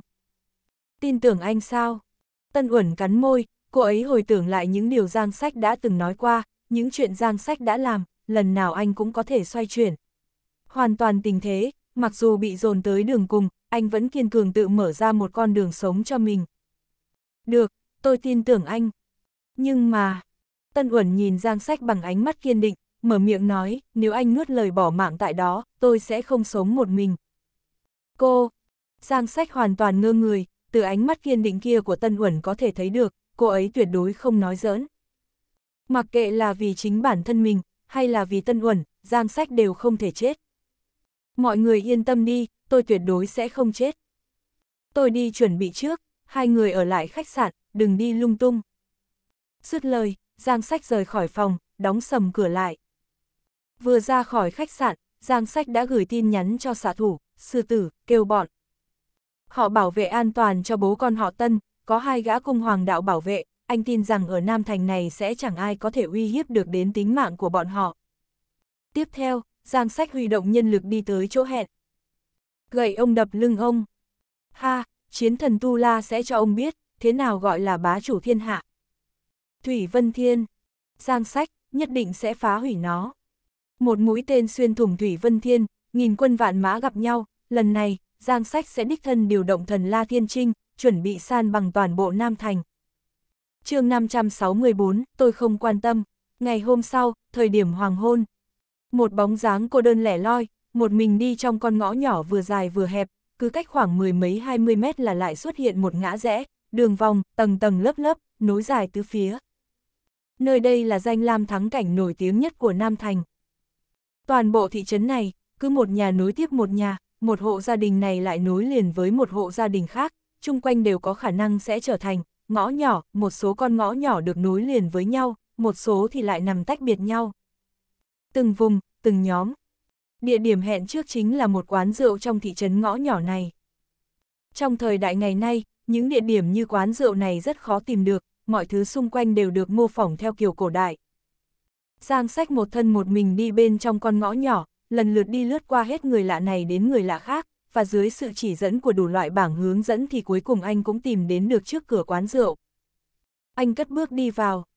Bên trong quán rượu, có một cô gái đang ngồi, chính là Tiểu Điệp. Giang sách, anh tới rồi sao? Ngồi đi. Giang sách ngồi xuống, Tiểu Điệp cực kỳ nhiệt tình kêu chủ quán bưng ra một bát rượu, một bát thịt bò và một đĩa đậu phộng. Có rượu có thịt lại có đồ ăn, đối đãi cũng không tồi. Anh ăn chút gì lót dạ đi đã. Uống ly rượu giải khát. Giang sách không từ chối ý tốt của tiểu điệp, anh dùng đũa gắp một miếng thịt bò bỏ vào miệng nhai nuốt, sau đó lại bưng bát rượu lên uống một hơi cạn sạch. Tử lượng tốt đấy. Thêm một bát nữa. Tiểu điệp đưa Giang sách bát rượu đầy, Giang sách lại một lần nữa uống. Can. Sau khi uống xong, Giang sách thản nhiên nói, tiểu điệp, cô đã thu dọn đồ đạc đầy đủ chưa? Giờ tôi lập tức đưa cô rời khỏi Nam Thành, trở lại khu Giang Nam, về bên cạnh tôn tại ngôn. Tiểu điệp khẽ gật đầu, đã thu dọn xong hết rồi, có thể rời đi bất cứ lúc nào. Dứt lời, cô ta đứng dậy bước hai bước sang bên cạnh, sau đó đột nhiên ném chiếc bát xuống nền đất, vỡ tan tành. Chớp mắt một cái, một đám người cao to lao vào từ trên lầu xuống, bên ngoài quán rượu cũng đã bị một đám người ngăn chặn, không cần nghĩ cũng biết, đây là cái bẫy mà đối phương giang ra, cố ý dẫn dụ giang sách cắn câu. Ép. Giang sách dù biết rõ nhưng vẫn cố hỏi, tiểu điệp, cô như vậy là có ý gì? Tiểu điệp cười khẩy, ý gì chẳng lẽ vẫn chưa đủ rõ sao? Anh làm hại cậu chủ của chúng tôi, nên đương nhiên là Thủy Vân Thiên chúng tôi muốn lấy cái mạng anh lại để báo cáo kết quả công tác rồi. Vậy cô không muốn đi gặp tôn tại ngôn sao? Từ trong ánh mắt tiểu điệp hiện lên chút do dự, nhưng rất nhanh sau đó cô ta đã kịp chấn tĩnh lại, mở miệng nói tôn tại ngôn sao. Ha ha, con người hèn hạ đó đã hại tôi phải chịu khổ cả một đời rồi, ai mà muốn trở lại bên cạnh anh ta chứ? Giang sách lắc đầu cười khổ. Anh nói, tiểu điệp, cô cần gì phải nói những điều trái với lương tâm của mình đâu chứ? Cô rõ ràng vẫn còn rất quan tâm anh ta. Tôi không quan tâm. Được, không quan tâm, tôi cũng không muốn tranh luận thêm với cô về vấn đề này nữa. Giang sách nhìn về phía tiểu điệp, tiếp tục, nhưng có một vấn đề tôi cần phải nói rõ, Thủy Quân Tín không phải người tốt, chuyện tôi trừng trị anh ta là điều cần làm, Thủy Vân Thiên lại càng không phải nơi tốt đẹp gì, cô làm việc cho bọn họ, sau khi hết giá trị lợi dụng rồi chắc chắn sẽ bị vứt bỏ thôi. Cô đừng lún quá sâu vào. Tiểu điệp chỉ vào giang sách, anh đừng có ngồi đây châm ngòi ly rán. Tôi, Thủy Vân Thiên cảm thấy vô cùng thoải mái, sẽ không bị dăm ba câu nói của anh mê hoặc đâu, anh cứ ở đây mà chờ chết đi. Phải chăng cô ta thật sự tín nhiệm Thủy Vân Thiên, có lẽ chỉ đơn giản vì cô ta sợ mình sẽ bị trả thù. Dù sao thì, bất kể thế nào Tiểu Điệp cũng không thể phản bội Thủy Vân Thiên, cô ta chỉ nghĩ phải dùng mạng của Giang Sách để bảo toàn mạng sống của chính mình, chỉ đơn giản vậy mà thôi. Giờ Giang Sách đã bị đưa tới, cũng bị người ta bao vây rồi, nhiệm vụ của Tiểu Điệp coi như hoàn thành. chương 565, muốn ghép tội thì sợ gì không có lý do. Cô ta xoay người muốn rời khỏi quán rượu, rời khỏi trốn thị phi này, cô ta không muốn bản thân sẽ bị ảnh hưởng khi trận chiến nổ ra. Nhưng kết quả, cô ta vừa mới đi tới cửa đã bị mấy tên cao to vạm vỡ đứng chặn cửa ngăn cản. Tiểu điệp khẽ nhăn mày, muốn vòng sang bên cạnh đi qua, nhưng kết quả vẫn bị ngăn cản như cũ. Cô ta ngây ngẩn cả người. Các người làm vậy là có ý gì? Tránh ra. Không ai nghe cô ta nói, đám người của Thủy Vân Thiên giống như những cây cột, đứng im một chỗ không nhúc nhích, vây kín toàn bộ quán rượu đến mức con kiến cũng không chui lọt qua được. Đúng lúc này, một giọng nói già nua vọng vào. Tiểu điệp, cô không cần cố sức đâu. Bọn họ sẽ không để cô rời đi. Bên trong đám người, một cụ già trống quải trương chậm rãi đi tới, chính là chủ nhân của Thủy Vân Thiên Thủy Thanh Diệu. Tiểu điệp khẽ nhíu mày, chủ nhân, lời này của ngài là có ý gì chứ? Còn chưa hiểu sao, cô đã không còn giá trị lợi dụng nữa, có thể đi chết được rồi. Chớp mắt một cái, cơ thể tiểu điệp bùn rùn, không còn chút sức lực nào. Những lời Thủy Thanh Diệu nói được Giang Sách đoán chuẩn xác hoàn toàn. Có điều, vì cái gì chứ? Cô ta khó hiểu hỏi lại, chủ nhân, tôi đã làm theo yêu cầu ông nói rồi, tại sao ông còn muốn giết tôi? Thủy Thanh Diệu hừ lạnh một tiếng. Nếu không phải tại vì cô thì Giang Sách có đến Nam Thành không? Có tham gia buổi tiệc khiêu vũ đó không?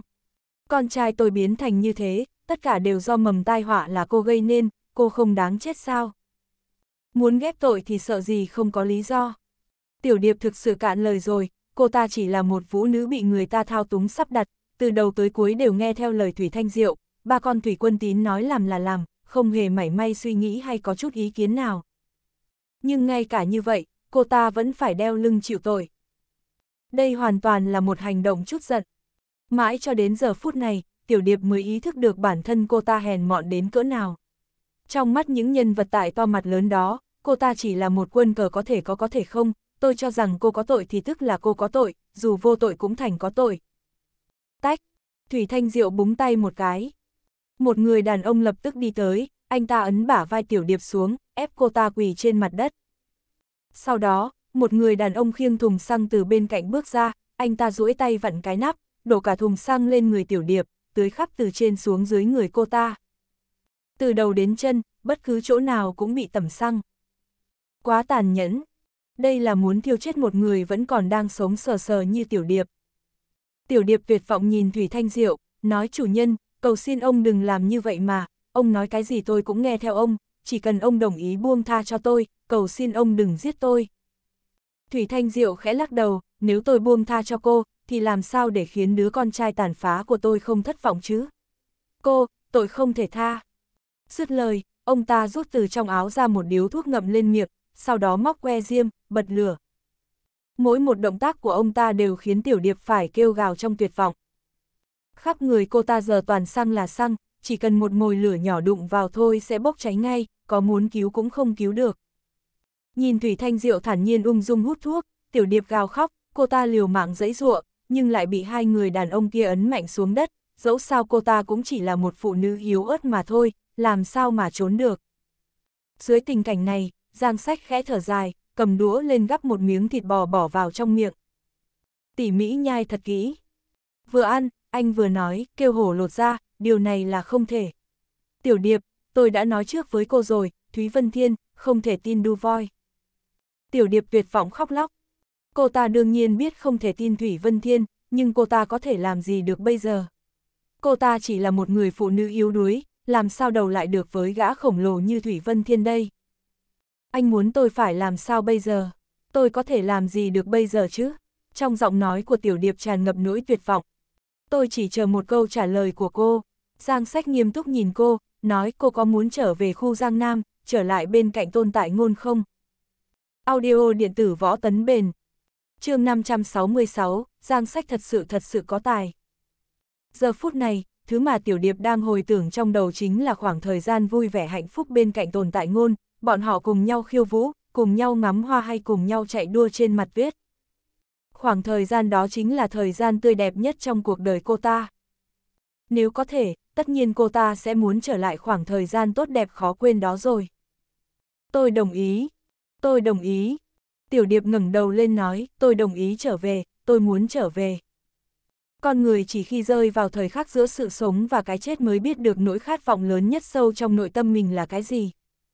Tiểu điệp hận tôn tại ngôn, nhưng cô ta cũng yêu tôn tại ngôn.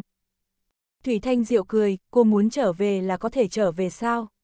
Nơi này là Nam Thành, Thủy Vân Thiên muốn xử lý kẻ nào thì chắc chắn có thể xử lý kẻ đó. Đúng vậy, đã rơi vào tay Thủy Vân Thiên rồi còn đòi trở về. Nếu có thể trở về, chẳng phải Tiểu Điệp đã trở về từ lâu rồi sao? Không còn cách nào cả, vốn dĩ là không thể được. Chút hy vọng vừa mới nhen nhóm đã bị dập tắt hoàn toàn, cô ta đau đớn cúi đầu, nức nở. Cô có thể chết rồi. Thủy Thanh Diệu ném tàn thuốc còn đang giang dở về hướng Tiểu Điệp, chỉ cần tia lửa chạm vào bất kỳ bộ phận nào trên người Tiểu Điệp, thì lập tức một ngọn lửa sẽ bùng cháy kịch liệt. Cái chết gần trong gang tấc. Vào chính thời khắc nghìn cân treo sợi tóc đó, vào một tiếng, chỉ thấy một chiếc đĩa bay xuyên qua không trung tới, chuẩn xác ghim thẳng vào điếu thuốc lá kia, trực tiếp hất điếu thuốc chưa hút xong bay ra ngoài, đóng đinh trên tường. Cộp, chiếc đũa kéo theo điếu thuốc lá, chạm vào tường tạo thành một cái hố. Người đàn ông đứng bên cạnh chiếc đũa cảm thấy một trận gió vụt qua, gò má anh ta bị xé toạc, máu tươi bắt đầu chảy ra. Vừa nãy nếu chiếc đũa đi lệch hướng một chút thôi thì có lẽ cái mạng anh ta cũng không còn nữa rồi. Hả? Thủy Thanh Diệu quay đầu nhìn về phía Giang Sách, chỉ thấy trong tay anh còn đúng một chiếc đũa, điều này chứng tỏ chiếc đũa vừa nãy là do Giang Sách ném ra. Ép! Có điều, tốc độ này, độ chính xác và cả sức mạnh cũng thật quá đáng sợ. Chuyện này mà con người vẫn có thể thực hiện được sao? Cổ thực giống như các cao thủ võ lâm trong tiểu thuyết võ hiệp, tiểu lý phi đao lý tầm hoan chẳng phải cũng giống thế này sao? Người đàn ông này, thật sự quá đáng sợ. Thủy Thanh Diệu lạnh lùng nói, Giang Sách, cậu cho rằng cậu có thể bảo vệ được cô ta ư? Giang Sách không đáp mà hỏi ngược lại, vậy ông cho rằng ông có thể giết được cô ấy ư? Khẩu khí lớn thật. Trước mặt chủ nhân Thủy Vân Thiên, Giang Sách là người đầu tiên, và cũng là người duy nhất có thể nói ra những lời ngạo nghễ như vậy. Thủy Thanh Diệu bị chọc cười. Giang Sách, sự gan dạ sáng suốt của cậu đúng là kinh người, kỹ năng cũng vô cùng lợi hại. Nói thật, nếu cậu không làm hại con trai tôi, tôi thậm chí còn thấy luyến tiếc khi phải ra tay giết cậu đấy, tôi thật sự rất muốn cậu làm việc cho tôi. Nhưng cũng hết cách rồi, cậu dám động tay tới đứa con trai duy nhất của Thủy Thanh Diệu này, mạng của cậu đã sớm không còn tồn tại trên cõi đời này nữa rồi. Bản thân cậu còn khó bảo toàn được tính mạng của mình, thì sao giữ được mạng cho người phụ nữ này đây? Giang sách rót một bát rượu với phong thái không hề hoang mang, vừa uống vừa nói, tôi nói rồi, ông không động được vào cô ấy là không động được. Không tin, ông thử xem. Thủy Thanh Diệu dùng ánh mắt nhắc nhở nhìn về phía một tên thuộc hạ. Tên thuộc hạ kia lập tức giơ con dao găm hướng về phía sau lưng tiểu điệp định đâm. Keng! Một chiếc đũa đâm thẳng vào lòng bàn tay người nọ, con dao găm rơi xuống đất tạo ra một tiếng keng, tiếp theo, người kia đau đớn kêu gào thảm thiết. Giang sách thật sự thật sự có tài. Thủy Thanh Diệu nhìn Giang sách, ông ta cười khẩy một tiếng, mở miệng nói, kỹ năng của cậu quả thực không tồi, nhưng biết sao đây? Đầu óc của cậu lại không thông minh chút nào, tứ chi phát triển nhưng đầu óc lại đơn giản, sao có thể là đối thủ của Thủy Thanh Diệu tôi? chương 567, người của tôi có rất nhiều. Tôi không ngại nói cho cậu biết, rượu cậu uống đã bị tối hạ độc từ lâu rồi, cậu chỉ có một con đường chết thôi. Tiểu điệp khóc càng thảm thiết hơn. Đây cũng chính là chuyện cô ta làm giúp Thủy Thanh Diệu, hạ độc vào trong rượu, khiến Giang Sách mất đi năng lực chiến đấu. Người bình thường nghe được lời này xong sẽ tuyệt vọng vô cùng, nhưng Giang Sách thì không hề. Anh khinh thường hừ lạnh một tiếng, tiếp tục làm theo ý mình, rót đầy một bát rượu nữa. Hử, ông nói, ông hạ độc trong rượu sao? Vậy tại sao đến tận bây giờ tôi vẫn chẳng hề hấn gì? Lúc nói, Giang Sách còn khiêu khích uống một hơi cạn sạch, sau đó lại tiếp tục rót thêm một bát khác. Anh nói khiến Thủy Thanh Diệu bắt đầu chú ý. Đúng vậy, từ lúc vừa tới đến bây giờ, Giang Sách đã uống hết 4 năm bát rượu rồi, nhưng sao anh vẫn không bị làm sao hết, còn đứng rất vững nữa kìa. Hay là đang cố gắng gượng? Không thể có chuyện đó, nhìn trạng thái tinh thần của Giang Sách, dáng vẻ của anh trông chẳng có gì là đang cố gắng gượng cả. Hơn nữa, loại thuốc đó cực kỳ lợi hại, căn bản là không thể gắng gượng được. Trên thực tế, ông ta đều biết rằng, ở phương diện y học, mấy loại bụi đời nhỏ bé này làm sao có thể so sánh được với trình độ của Giang Sách. Ngay khoảnh khắc bưng bát rượu lên, Giang Sách đã biết trong rượu có vấn đề rồi. Cho nên, Giang Sách đã phòng bị từ trước, dùng kim bạc làm tan tính chất của thuốc, nên cơ thể mới không phải chịu bất kỳ tổn thương nào. Thao tác kinh người như thế có nói ra cũng không ai nghe hiểu được, huống chi Giang Sách vốn cũng đầu định lên tiếng giải thích. Khuôn mặt Thủy Thanh Diệu lộ vẻ nghi hoặc, không thể nào hiểu được. Hừ, cơ thể cậu không có việc gì thì đã sao? Thủy Thanh Diệu duỗi tay phất lên, giết chết cậu ta. Một tên thuộc hạ lập tức lao tới, nhưng tựa như một con thiêu thân lao đầu vào lửa, điều chờ đợi anh ta chỉ là một con đường dẫn tới cái chết.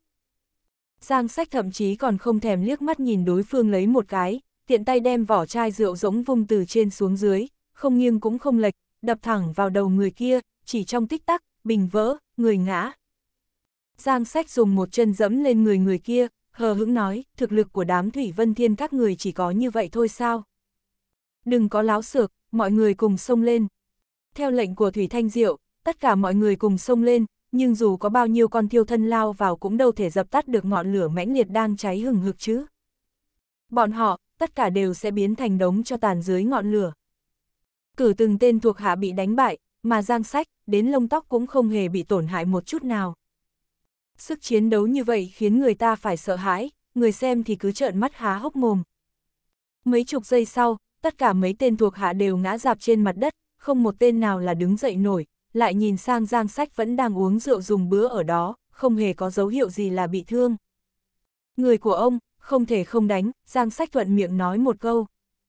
Ha ha, tôi thừa nhận tôi đã xem thường cậu, nhưng mà Giang Sách, cậu cho rằng đánh bại được những người này là rất lợi hại sao? Nói cho cậu biết, đây chỉ là một bộ phận nhỏ của Thủy Vân Thiên mà thôi.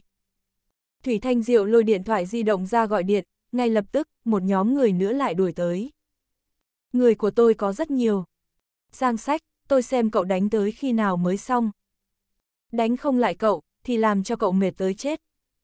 Nhìn một đám người bên ngoài rầm rầm đi tới, Giang sách khẽ gật đầu, nói, đúng vậy, nhiều người như vậy, hệt như rau hẹ, cái này lại đến cái khác, nếu chỉ có mình tôi đánh thì rất mất sức.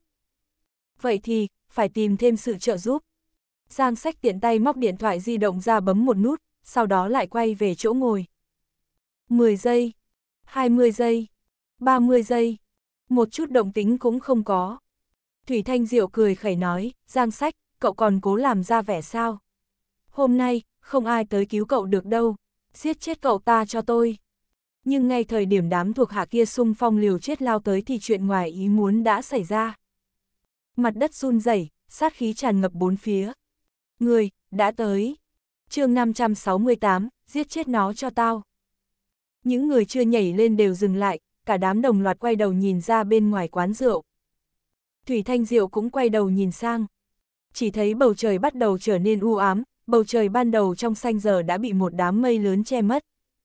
Thời tiết thay đổi à? Ngay khi Thủy Thanh Diệu đang khó hiểu, đột nhiên cảm thấy mặt đất rung chuyển. Động đất, không giống.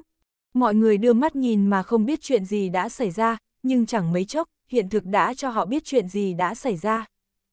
Không lâu sau, một đám người cơ thể cường tráng đi vào, mỗi người đều được huấn luyện nghiêm khắc, trong mắt hiện lên một cỗ sát ý. Nó dày đặc đến nỗi không thể nhìn thấy tận cùng. Bọn họ chính là thần La Thiên Trinh mà Giang Sách lấy làm kiêu ngạo. Đám thuộc hạ này đã cùng anh sông pha giết giặc ở biên giới phía Tây, ngoan cường, bất khuất. Ngay cả những kẻ thù đáng sợ nhất ở biên giới phía Tây cũng có thể bị quét sạch, huống chi những nhân vật tầm thường trước mặt này. Cuối cùng, sắc mặt của Thủy Thanh Diệu thay đổi.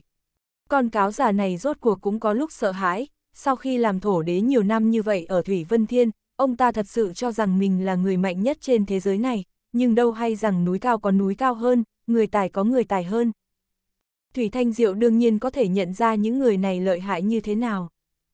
Không chỉ lợi hại mà còn có số lượng đông đảo. Sói không thể đánh bại sư tử, sói càng không thể đánh bại đàn sư tử. Một con sói chiến đấu với 100 con sư tử, kết quả còn cần phải suy nghĩ ư. Giờ phút này, Thủy Thanh Diệu căn bản đang đối mặt với tình huống như vậy. Chỉ với đám binh tôm tướng cua của ông ta, lúc bình thường bắt nạt dân chúng hiền lành thì còn được, nhưng nếu đi đối phó với một đám binh lính đông đảo được đào tạo bài bản thì chẳng khác nào chui vào đầm rồng hang hổ. Thủy Thanh Diệu quay đầu lại nhìn về phía Giang Sách. Cậu rốt cuộc là ai? Giang Sách bưng bát rượu lên uống một hớp, người chết không cần biết nhiều như vậy. Người chết, đây là định nghĩa của Giang Sách về Thủy Thanh Diệu. Chưa từng có ai dám nói chuyện với Thủy Thanh Diệu như thế này. Đại ca Giang Hồ của Nam Thành, chủ nhân của Thủy Vân Thiên, một sự tồn tại khủng khiếp độc chiếm một vùng mà mọi phú hào từng tới đây đều phải bái lạy. Trong miệng Giang Sách lại chỉ có hai chữ, người chết. Có thể hình dung sự khác biệt lớn như thế nào? Thủy Thanh Diệu nghiến răng nghiến lợi nói, Giang Sách, cậu cho rằng cậu thắng chắc rồi sao? Người của tôi nhất định sẽ thua cậu à?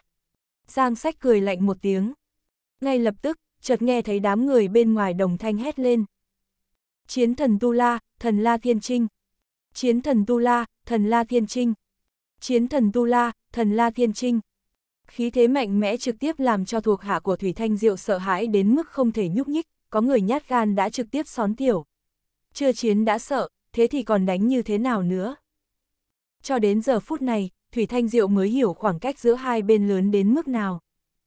Giữa ông ta và Giang Sách cách nhau một trời một vực. Giang Sách, cậu đừng kiêu ngạo. Cho dù hôm nay có chết, tôi cũng phải kéo cậu làm đệm lưng. Giết chết nó cho tao. Sau khi mệnh lệnh được đưa ra, cả đám người lao thẳng đến Giang Sách, ý tưởng của họ rất đơn giản, giết Giang Sách. Chết, cũng phải có đệm lưng. chương 569, Giang Sách, cậu thật là độc ác. Đương nhiên, có rất nhiều người theo tư tưởng, bắt giặc bắt vua trước. Chỉ cần bắt được Giang Sách, chẳng phải bọn họ có thể cho người bên ngoài rút lui rồi ư. Lý tưởng thì đầy đặn, thực tế lại gầy trơ xương. Sức mạnh của Giang Sách vượt xa sức tưởng tượng của họ. Đối mặt với công kích như vũ bão, Giang Sách có thể nhẹ nhàng hóa giải. Và lại, đối với những kẻ dám tấn công mình, Giang Sách không tha một kẻ nào. Thương vong ở khắp mọi nơi. Đương nhiên, người của thần La Thiên Trinh không đứng xem diễn. Bọn họ trực tiếp xông vào, quán rượu nhỏ chật ních hai nhóm người. Cuối cùng, quán rượu trực tiếp sụp đổ. Người trên người, người dẫm người. Thuộc hạ của Thủy Thanh Diệu dù có muốn chạy cũng chẳng có nơi nào để chạy, bị những người của thần La Thiên Trinh quật ngã xuống đất bằng quyền này đến quyền khác. Một băng là sư tử, băng còn lại nhiều nhất chỉ được xem là Teddy. Đẳng cấp hoàn toàn khác nhau. Chẳng mấy chốc, đám người của thần La Thiên Trinh đã thanh toán sạch sẽ tất cả mọi người trong Thủy Vân Thiên. Cả đám nằm trên mặt đất co giật, những người không bị thương cũng nằm trên mặt đất giả vờ bị thương, không ai dám đứng lên nữa. Ban đầu định thiết kế một cuộc phục kích cho Giang Sách, kết quả biến khéo thành vụng, mình lại bị mai phục ngược lại. Thủy Thanh Diệu làm sao có thể dự đoán được một cái kết như vậy? Quỳ xuống. Một người đè vai Thủy Thanh Diệu và đè ông ta quỳ xuống đất. Một kiêu hùng đã tung hoành ở Nam Thành suốt nửa đời người, làm sao cũng không bao giờ tưởng tượng được rằng một ngày nào đó ông ta lại kết thúc theo cách như vậy. Ông ta ngẩng đầu lên nhìn về phía Giang Sách, cười khanh khách. Sông núi sinh tài đời vẫn có, lấy lừng ai cũng một thời thôi. Chuyên bác tri ân, ông già này thua. Giang Sách, cậu rất lợi hại, cậu khiến lão già này thua tâm phục khẩu phục. Giang Sách cũng không thèm nhìn ông ta, mà đã có người khoác thêm một chiếc áo cho Tiểu Điệp, giúp cô ta ngồi vào bàn, uống một hớp rượu sạch, làm nóng người. Quay lại, Giang Sách mới nói với Thủy Thanh Diệu, Nam Thành toàn ẩn chứa những sự nhơ nhấp bẩn thỉu đều vì sự tồn tại của những người như ông. Loại người cặn bã như Thủy Quân Tín có thể làm bất cứ điều gì anh ta muốn đều là do ông đứng sau làm chỗ dựa cho anh ta. Thủy Quân Tín đáng ghét, ông còn đáng ghét hơn.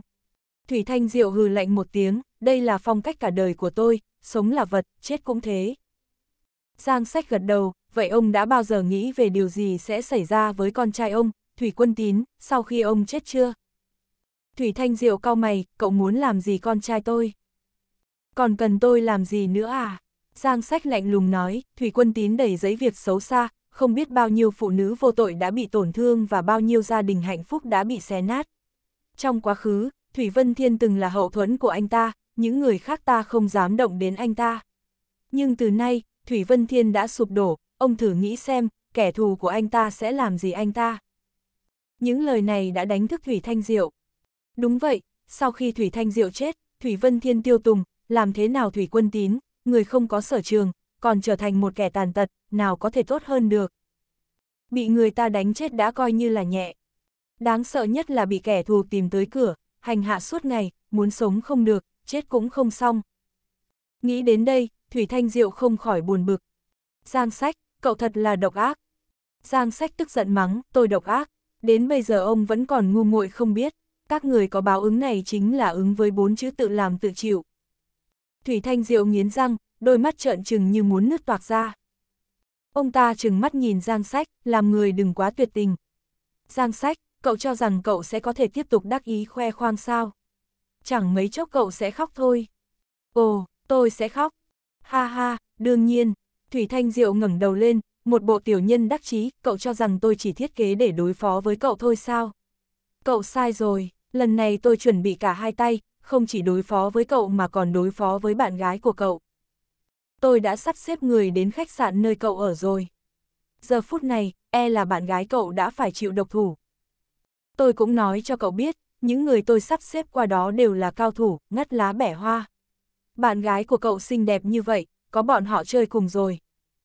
Giang sách, cậu giết tôi thì như thế nào, kết quả chẳng phải đều rơi vào thống khổ hay sao? Sẽ không có ai là người chiến thắng trong cuộc chiến này. Ha ha ha. chương 570, nhân mã là anh, sư tử là em. Thủy Thanh Diệu dùng ra quang nhìn Giang Sách, nghĩ rằng sau khi nói những lời này, Giang Sách sẽ cảm thấy tức giận và sợ hãi. Đối phương càng tức giận bao nhiêu thì ông ta càng vui bấy nhiêu. Nhưng điều làm cho Thủy Thanh Diệu khó hiểu chính là Giang Sách không hề tỏ vẻ gì, giống như không có nghe thấy, tự ngồi ở trên ghế salon uống rượu, ngoảnh mặt làm ngơ trước lời nói của Thủy Thanh Diệu. Điều này làm cho người ta khó có thể nắm bắt. Sau khi một người nói ra điều gì đó, phản ứng nào mới khiến người nói không thể chấp nhận được. Tán đồng với bạn, không. Phản đối bạn, cũng không. Đó là sự im lặng, là nghe mà như không nghe, coi lời nói của bạn như gió thoảng bên tai, phù, thổi qua là qua. Phản ứng của Giang Sách khiến Thủy Thanh Diệu gần như bùng nổ vì tức giận. Ông ta hét vào mặt Giang Sách, này, cậu có nghe tôi nói gì không? Tôi đã sắp xếp người đối phó bạn gái của cậu rồi. Cho dù hiện tại cậu lập tức đưa người tới đó cũng đã muộn, cậu không có phản ứng gì sao? Giang Sách vẫn giả vờ như không nghe thấy, tự mình ăn uống. Giang Sách, nói cái gì đó đi. Bịt miệng ông ta. Lập tức có người đi tới, lấy khăn bịt miệng Thủy Thanh Diệu, ông ta không nói được lời nào. Tiểu Điệp ở bên cạnh lo lắng hỏi, Giang Sách, anh thật sự không định làm gì sao? Giang sách sửng dưng nói, mọi chuyện đều trong tầm kiểm soát. Cô chỉ cần bình tĩnh nghỉ ngơi, còn lại cứ giao cho tôi. Chưa bao giờ Tiểu Điệp cảm thấy an toàn như lúc này. Giang sách mang đến cho cô ta một cảm giác mạnh mẽ chưa từng có. Cô ta như một chú cừu non tội nghiệp, nhởn nhơ trong vùng hoang vu đầy bầy sói hoang, cuối cùng được bảo vệ bởi một vị vua sư tử hùng vĩ. Đó là một cảm giác tuyệt vời, nhưng nó cũng rất thực. Đại sảnh khách sạn. Cánh cửa đột nhiên bị đẩy ra, theo sau đó là một nhóm lớn người kéo vào thưa thớt, tất cả đều cởi trần và xăm trổ, trên tay đều cầm rìu. Sau khi nhân viên phục vụ nhìn thấy nhóm người này thì hoảng sợ đến mức nhanh chóng chui xuống quầy. Một người trong số họ bước đến quầy, dùng rìu gõ mạnh và hét lên, Tân Uẩn sống ở phòng nào trên tầng nào. Nhân viên phục vụ nào dám trả lời, vội tra cứu ngay lập tức. Tân Uẩn, sống ở phòng 608. Ừ, lấy thẻ phòng tới đây. Của anh. Người phục vụ run rẩy đưa thẻ phòng qua, sau khi người đàn ông cầm lấy, lại nói thêm, Thủy Vân Thiên làm việc, người ngoài như các người tốt nhất bớt xen vào. Nếu dám gọi cảnh sát, tao sẽ giết mày chỉ trong phút chốc. Người phục vụ sợ đến phát khóc.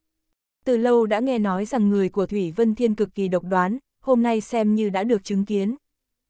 Nhóm đàn ông đi tới cửa thang máy, lần lượt đi vào, quẹt thẻ phòng lên lầu 6. Đinh đông, cửa thang máy mở ra.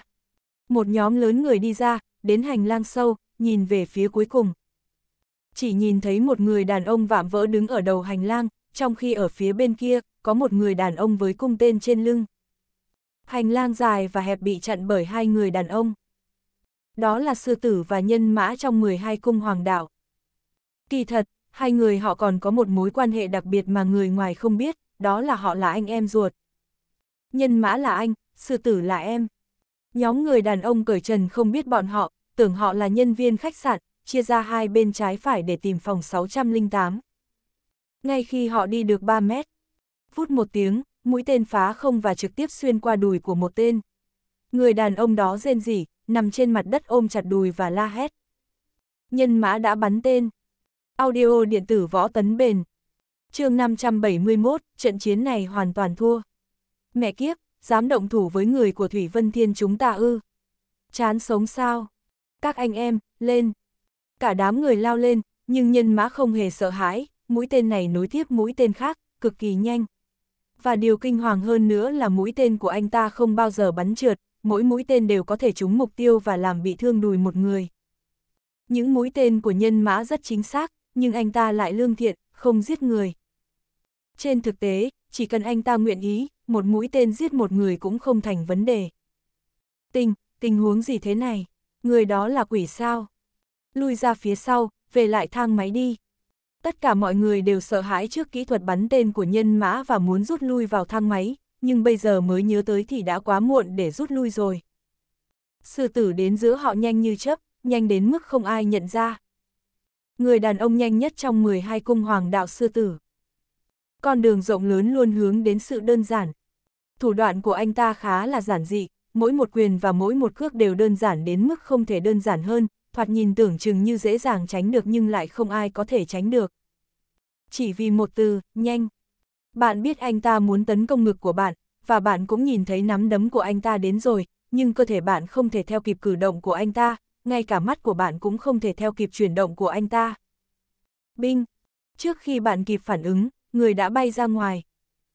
khinh người quá đáng, thật sự coi chúng ta là quả hồng mềm, có thể tùy tiện bóp nắn sao. Dám chạy tới giữa chúng ta, muốn chết à? Vài người đồng thời nhặt dìu lên để chém, nhưng động tác của bọn họ đều lọt vào mắt sư tử, giống như quay lại một đoạn phim tua chậm, muốn không thoát được cũng khó. Binh binh binh, liên tiếp ba quả đấm, ba người bay lên chúng trần nhà, tiếp theo nặng nề ngã xuống đất, túi mật cũng sắp bị phun ra. Tốc độ quá nhanh, phút phút phút, ngoài ra bên kia lại bắn tên liên tục, sỏ xuyên qua đời nhiều người. Trước sau chưa đầy một phút, hơn 20 người đàn ông cởi trần đều bị xử lý, cả hành lang đầy dãy tiếng gào thét, máu chảy thành sông, những chiếc rìu vô dụng vương vãi khắp noi. Em giải quyết được 12 tên, sư tử nói. Anh, 13, nhân mã mỉm cười, dù gì em vẫn là em trai. Nói xong, nhân mã quay lưng bỏ đi. Sư tử hừ lạnh một tiếng, em dùng nắm đấm, anh dùng mũi tên. Đương nhiên, tốc độ giết quái của anh nhanh hơn. Về sau anh có bản lĩnh đấu tay không không? Nhân mã nói mà không nhìn lại, tại sao phải từ bỏ ưu điểm của mình mà thi đấu bằng điểm yếu của bản thân? Tư duy của em trai thật khó hiểu. Anh có thể đứng cứ há mồm ngậm miệng là em trai được không? Nhưng trên thực tế, em chính là em trai của anh. Em chỉ sinh muộn vài phút. Vậy cũng là em trai. Ở phía bên kia, trong quán rượu ở trấn ngã nhỏ. Giang sách đang uống rượu thì điện thoại reo. Anh trực tiếp kết nối loa, sau đó đưa điện thoại đến trước mặt Thủy Thanh Diệu. Chợt nghe thấy tiếng thút thít từng đợt truyền ra từ trong điện thoại. Nghe vào tai cũng khiến ra đầu người ta phải tê dại. Giang sách lấy chiếc khăn trong miệng Thủy Thanh Diệu ra, nhàn nhạt hỏi, những tiếng này nghe quen tại không? Thủy Thanh Diệu cẩn thận lắng nghe, nghe xong thì trên người đều lạnh cả tóc gáy. Ông ta nghe được, tất cả những tiếng này đều là của thuộc hạ của ông ta. Là đám người mà ông ta phái đến khách sạn đối phó với Tân Uẩn. Làm thế nào mà đột nhiên tất cả đều? Thủy Thanh Diệu khó khăn ngẩng đầu lên nhìn Giang Sách, trong mắt đầy kinh ngạc và sợ hãi. Chẳng trách vừa rồi Giang Sách không hề bị lời nói của ông ta làm cho dao động, hóa ra là Giang Sách đã chuẩn bị đầy đủ. Trận chiến này hoàn toàn thua. chương 572, Giang Sách đã trở thành thần trong lòng Tân Uẩn. Thủy Thanh Diệu đã lăn lộn trong giới xã hội đen mấy thập niên, chưa từng thấy đối thủ nào đáng gờm như Giang Sách. Lần ông ta sụp đổ này chỉ có thể gọi là tàn nhẫn. Giang Sách, đến tột cùng cậu là thần thánh phương nào? Một người đàn ông với thân thủ và sự mưu trí như vậy chắc chắn không phải là một người bình thường. Giang Sách nhẹ nhàng nói, trên thế giới này có rất nhiều nhân vật lợi hại. Đi ra ngoài nhiều thêm một chút, nhìn thêm một cái, ông sẽ biết cái gì gọi là núi cao có núi cao hơn, người tài có người tài hơn. Người chỉ biết là một hoàng đế địa phương ở một nơi chỉ lớn như lòng bàn tay như Nam Thành Vĩnh Viễn. Cũng chỉ có thể là ếch ngồi đáy giếng, không thể hiểu được nỗi đáng sợ của thế giới này. Thủy Thanh Diệu thở dài một hơi. Cây Âu, tôi đã già, không dễ để ổn định nền tảng ở Nam Thành. Làm thế nào tôi có thể ra ngoài và đột phá được? Hận chỉ hận đứa con bất hiếu của tôi, chỉ biết ham chơi hưởng lạc. Chắc ai không chọc, chọc phải cậu. Hai, cho đến bây giờ, còn điều gì để nói nữa chứ? Giang sách xua tay, đưa ông ta đến đồn cảnh sát, một tên cặn bã xã hội như vậy, phải để cho cả Nam Thành nhìn ông ta bị trừng phạt. Thủy Thanh Diệu đột nhiên nói, này, Giang sách, cậu có chắc muốn tống tôi đến đồn cảnh sát không? Ở Nam Thành, nền tảng của tôi rất sâu, cậu cảm thấy làm như vậy sẽ khiến tôi bị trừng phạt sao? Đây là một sự khiêu khích, hay nó là một câu đố?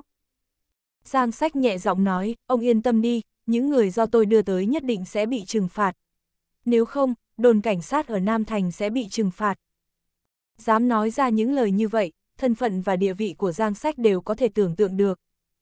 Thủy Thanh Diệu lập tức có phản ứng, Giang Sách khác xa so với sự đơn giản trong tưởng tượng của ông ta. Người này không chỉ lăn lộn trong giang hồ mà người ta còn có thân phận và địa vị khủng bố hai, Tại sao lại đắc tội với một người đàn ông như vậy chứ? Định mệnh, đúng là định mệnh mà.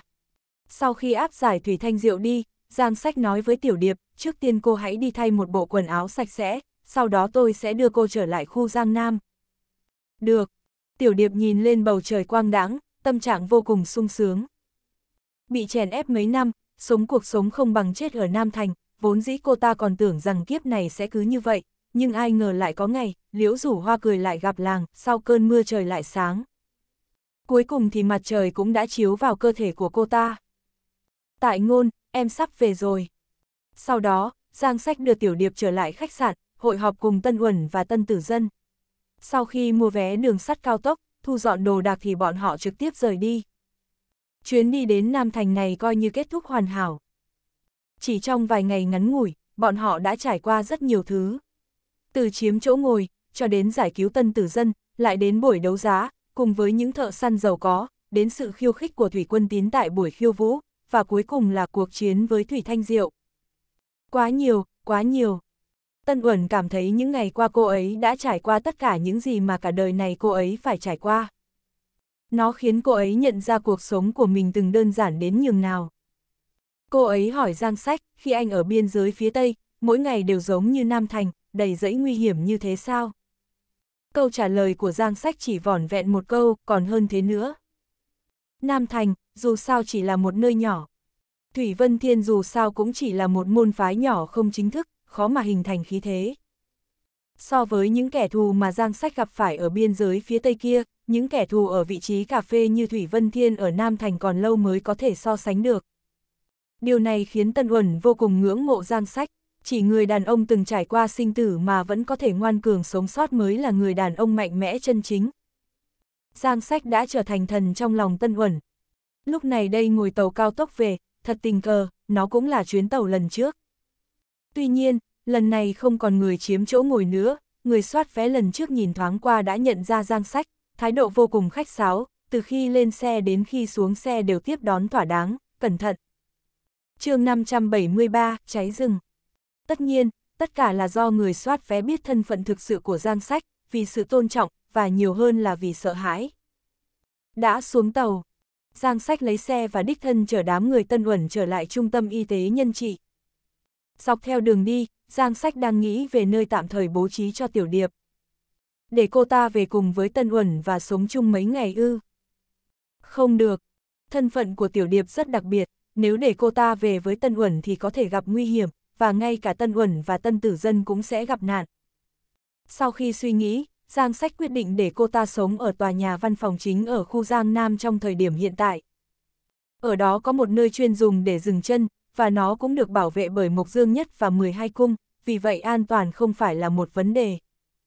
Trong xe, Tiểu Điệp hỏi, Giang Sách, tôi có thể gặp tại ngôn khi trở về không? Giang Sách ăn ngay nói thật, tôi e là không, vì mối quan hệ của hai người, Tôn Tại Ngôn đã bị một nhóm người xấu xa lợi dụng và trở mặt với tôi. a à, Tiểu Điệp bối rối, vậy mà anh còn cứu tôi. Giang Sách nói, cứu cô sẽ giải tỏa lo lắng sau này của Tôn Tại Ngôn, sau đó tôi khiến cho anh ta thua tâm phục khẩu phục, khi đó tôi sẽ cho cô gặp anh ta. Nói thật với cô, điều tôi muốn làm là, bắt được viên đại tướng Tôn Tại Ngôn này. Tiểu Điệp cảm thấy rất hứng thú với lời nói của anh. Cô ta cười nói, Tại Ngôn rất lợi hại. Đương nhiên, anh cũng không tệ, nhưng theo tôi thì anh vẫn không bằng Tại Ngôn. Về sứ mưu trí thì anh không thể so với anh ấy, vì vậy đừng tự mình chuốc lấy khổ. 2. Nếu thật sự không được thì tôi sẽ trực tiếp ra mặt để cho anh ấy gia nhập trận doanh của anh, như vậy anh sẽ tiết kiệm được rất nhiều phiền phức, không phải sao? Giang sách bật cười. Không cần. Nếu lợi dụng cô để cho anh ta gia nhập trận doanh của tôi, vậy tôi cùng những kẻ phản diện khác có gì khác biệt? Tôi muốn khiến tồn tại ngôn thua một cách tâm phục khẩu phục. Tiểu điệp mím môi khinh thường, hừm, dù sao tôi cũng không tin anh có thể thắng tại ngôn. Nhưng đừng lo, khi nào anh muốn tôi ra mặt cũng được, tôi sẽ giúp anh. Giang sách cười và không nói gì. Liệu anh sẽ thua tồn tại ngôn không? Không phải là không thể. Chỉ là vì Giang sách có thể đánh bại tồn tại ngôn một lần thì anh có khả năng đánh bại anh ta lần thứ hai. Anh muốn để câu chuyện lịch sử, thừa tướng Gia Cát nhận Khương Duy, được tái hiện ở thời đại này. Khi đang trò chuyện, đột nhiên, đường cao tốc bị chặn, Giang Sách không có lựa chọn nào khác ngoài đạp phanh và dừng xe. Anh nghi ngờ nhìn về phía trước.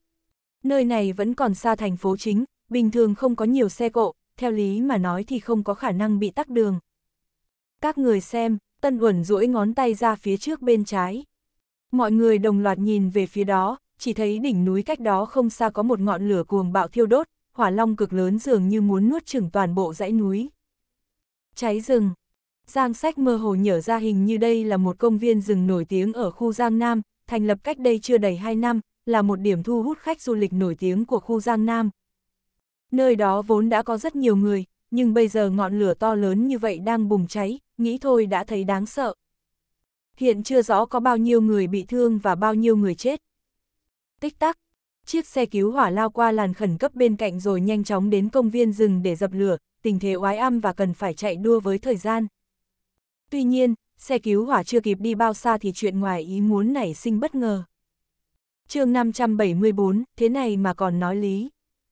Xe cứu hỏa dừng cách đó chưa đầy 200 mét, theo sau là người lính cứu hỏa xuống xe không biết đang nói chuyện gì. Phía trước bị phong tỏa, càng ngày càng có nhiều tài xế xuống xe xem náo nhiệt. Nhiều người trong số họ chỉ trỏ, như thể chửi bới trên đường phố. Nhìn thấy cảnh này, Giang Sách khẽ cau mày, mở cửa xe bước ra ngoài, các người ngồi trên xe đừng nhúc nhích, tôi đi ra trước nhìn một chút. Giang sách đi bộ tới, còn chưa tới nơi thì anh đã biết chuyện gì đang xảy ra. Hóa ra một chiếc SUV đang đậu ở làn khẩn cấp, thân xe dài, rộng, chắn ngang toàn bộ làn khẩn cấp khiến các xe cứu hỏa phía sau không thể chạy qua. Xe cứu hỏa có mặt để dập lửa, tính mạng người dân bị đe dọa nhưng lại bị chặn trên đường, lính cứu hỏa lo lắng, người xem cũng sốt ruột. Tuy nhiên, chủ nhân của chiếc SUV và người phụ nữ ngồi trên ghế phụ không quan tâm. Chủ xe nghe nhạc bằng tai nghe, người phụ nữ soi gương vẽ chân mày và không hề coi trọng lời nói của người khác, thậm chí còn phớt lờ những câu hỏi của lính cứu hỏa. Cuối cùng, những người lính cứu hỏa đã nóng nảy và đập cửa sổ. Bấy giờ chủ xe mới bước xuống nói, gõ cái gì mà gõ? Gõ bà nội mày, mày biết ông đây là ai không? Làm phiền ông đây thì mày có quả ngon để ăn chắc. Người lính cứu hỏa mắng mỏ, chúng tôi với dập lửa. Xe của anh đang chiếm làn khẩn cấp, xin hãy rời đi ngay. Chủ xe khịt mũi lạnh lùng. Di chuyển đi, làm sao chuyển, chỗ này đang kẹt không lọt qua được, mày rời một cái cho tạo xem được không? Hơn nữa, mày dùng giọng điệu gì để nói chuyện với tao thế? Mày có biết ông đây là ai không? Tạo tên là Tạ Doãn, và Tạ Mạnh Trí, đội trưởng của lực lượng cảnh sát khu Giang Nam, là anh họ của tao nếu mày đắc tội tao, mày sẽ bị đuổi việc chỉ trong vài phút. Tin hay không? Những người lính cứu hỏa vừa lo lắng vừa tức giận. Tạ mạnh trí, đó không phải là người mà lính cứu hỏa có thể chọc vào được, nhưng nhìn thấy ngọn lửa đang thiêu rụi ngọn núi, chẳng lẽ bọn họ phải lo lắng xuông trên đường sao? Tạ Doãn mất kiên nhẫn nói, mày sốt ruột làm cái gì? Không phải chỉ có mình xe của mày. Hiện tại đội cứu hỏa toàn khu Giang Nam đã được điều động, còn có bao nhiêu xe cứu hỏa chạy tới để dập lửa, chẳng thiếu một chiếc của mày. Cho nên mày cứ ngoan ngoãn chờ ở đây đi, chờ đường thông thoáng rồi thì tao tự nhiên sẽ tránh đường cho mày, đúng không? Con người phải nói lý chứ nhỉ? Thế này mà còn nói lý. Mọi người nghe xong đều muốn hộc máu. Nhưng có thể làm gì được, sau lưng người ta có quan, trong nhà lại có tiền, loại con ông cháu cha như thế này không phải là kẻ mà người bình thường có thể chọc vào được. Hơn nữa, đường bị tắc như thế này, cho dù bảo gã di chuyển xe thì gã phải di chuyển như thế nào. Vì vậy, ngoài việc lén mắng mỏ hai cầu ra, thực sự không thể làm gì hơn. Lúc này Giang Sách bước tới, nói với giọng trầm nhưng thấm thía, công viên rừng đang cháy, xe cứu hỏa lao vào dập lửa cứu người nhưng anh lại lấn làn khẩn cấp không chịu cho đi. Anh có biết rằng anh đang vi phạm pháp luật vào lúc này không? Tạ Doãn liếc nhìn Giang Sách một cái, mày là ai? Mày có tư cách nói ở đây sao? Cút ngay cho ông. Giang Sách từng bước đến gần. Thân là người thân của nhân viên chấp pháp, không biết làm gương tốt mà lại biết luật mà phạm pháp, thì tội của anh càng thêm một bậc. Thật nhục nhã cho tạ mạnh trí khi có một người em họ như anh. Tạ Doãn tức giận, này tên khốn kiếp, dám vô lễ với anh họ của tao. Ông đây sẽ giết chết mày. Tạ Doãn vốn quen làm sằng làm bậy, lúc thường không thể nghe lọt tai lời nói xấu nào về gã. Từ trước đến nay chỉ có người nịnh nọt lấy lòng gã, làm sao có người mắng gã ngay trước mặt. Lòng tự trọng của gã không thể chịu đựng được nữa. chương 575, đây là loại sức mạnh gì thế? Tạ Doãn mở cốp chiếc SUV, lấy ra một cây gậy bóng chảy từ bên trong, vẫy nó về phía giang sách. Các nhân viên cứu hỏa muốn ngăn cản đã không kịp nữa. Tuy nhiên, cây gậy bóng chảy trước mặt giang sách có ích gì? Giang sách một cước đá văng ra, tạ doãn và cây gậy bóng chảy bay ra ngoài, cả người đập vào lan can, lưng gã bị đánh thủng một lỗ, khóc đến kêu cha gọi mẹ. Đồ rẻ rách, mày còn dám đánh trả. Mày toang rồi con ơi. Cả đời này mày đừng mong đi ra khỏi nhà tù nữa. Giang sách tiến lên một bước, thật sao? Quyền lực của mày lớn như vậy à? Những người lính cứu hỏa vội vàng can ngăn, anh này đừng nóng giận, điều quan trọng nhất lúc này là làm thế nào để cho xe đi và nhường đường, chứ không phải đánh nhau. Thế này kỳ thật là đang tìm một bậc thang cho Giang Sách. Bọn họ cũng sợ Giang Sách bị đối phương trả thù, dù sao đối phương cũng có quan hệ và lại lịch, nếu thật sự muốn báo thù cũng không phải là chuyện đùa. Giang Sách gật đầu. Đúng vậy, việc quan trọng nhất bây giờ là di chuyển chiếc xe đang chiếm đường. Tạ Doãn đứng lên, ôm chặt lưng, di chuyển. Di chuyển như thế nào? Đường thì chật như nêm cối, mày có thể nhích một cái cho tao xem đi. Giang sách thong dong đi đến chiếc xe SUV, vươn tay vỗ về chiếc xe. Tạ Doãn lo lắng hét lên, bỏ cái tay hôi thối của mày khỏi xe đi. Xe của tao trị giá hơn một triệu nhân dân tệ, tay hội của mày có thể đụng vào được à? Giang sách phất lờ gã. Nhìn xe, rồi nhìn dòng sông chảy xiết bên ngoài lan can. Anh nhẹ nhàng nói, những thứ không nên có ở đây nên được dọn sạch. Nếu không có cách nào để di rời, vậy chỉ cần vứt chúng đi là được. Vứt đi. Vứt một chiếc xe hơn một triệu nhân dân tệ. Mặc kệ chủ nhân có bằng lòng hay không, anh muốn vứt bỏ như thế nào hả? Chẳng lẽ anh còn muốn tạm thời gọi cần cầu đến sao? Điều này vừa nghe đã thấy vô căn cứ. Người xem đều lần lượt lắc đầu, giới trẻ ngày nay thật là không có đầu óc, nghĩ ra toàn ba. Cái chuyện không đầu. Người lính cứu hỏa cũng thở dài. Giờ đây, họ chỉ có thể di chuyển xe trước và xe sau càng xa càng tốt để có được không gian cho chiếc SUV. Thế nhưng chiếc SUV này lại rộng và dài đến mức hoàn toàn không thể nào sắp xếp được trong khoảng không gian ít ỏi này, điều này khiến lực lượng cứu hỏa lo lắng. Lúc này, chỉ thấy Giang Sách duỗi tay, sau đó anh ngồi xổm xuống, dùng hai tay ôm phần dưới của chiếc SUV. Mày muốn làm gì? Tạ Doãn hét lên. Giang Sách không nói lời nào, mà hét lên một tiếng dữ dội và đột nhiên đề khí. 2. Tiếp theo, một cảnh tượng đáng ngạc nhiên đã xảy ra. Giang Sách thực sự đã di chuyển chiếc xe SUV khổng lồ bằng thân xác của người phàm, toàn bộ chiếc xe được nâng lên. Đây là loại sức mạnh gì thế? Ngay cả con trâu lớn cũng chỉ thế thôi.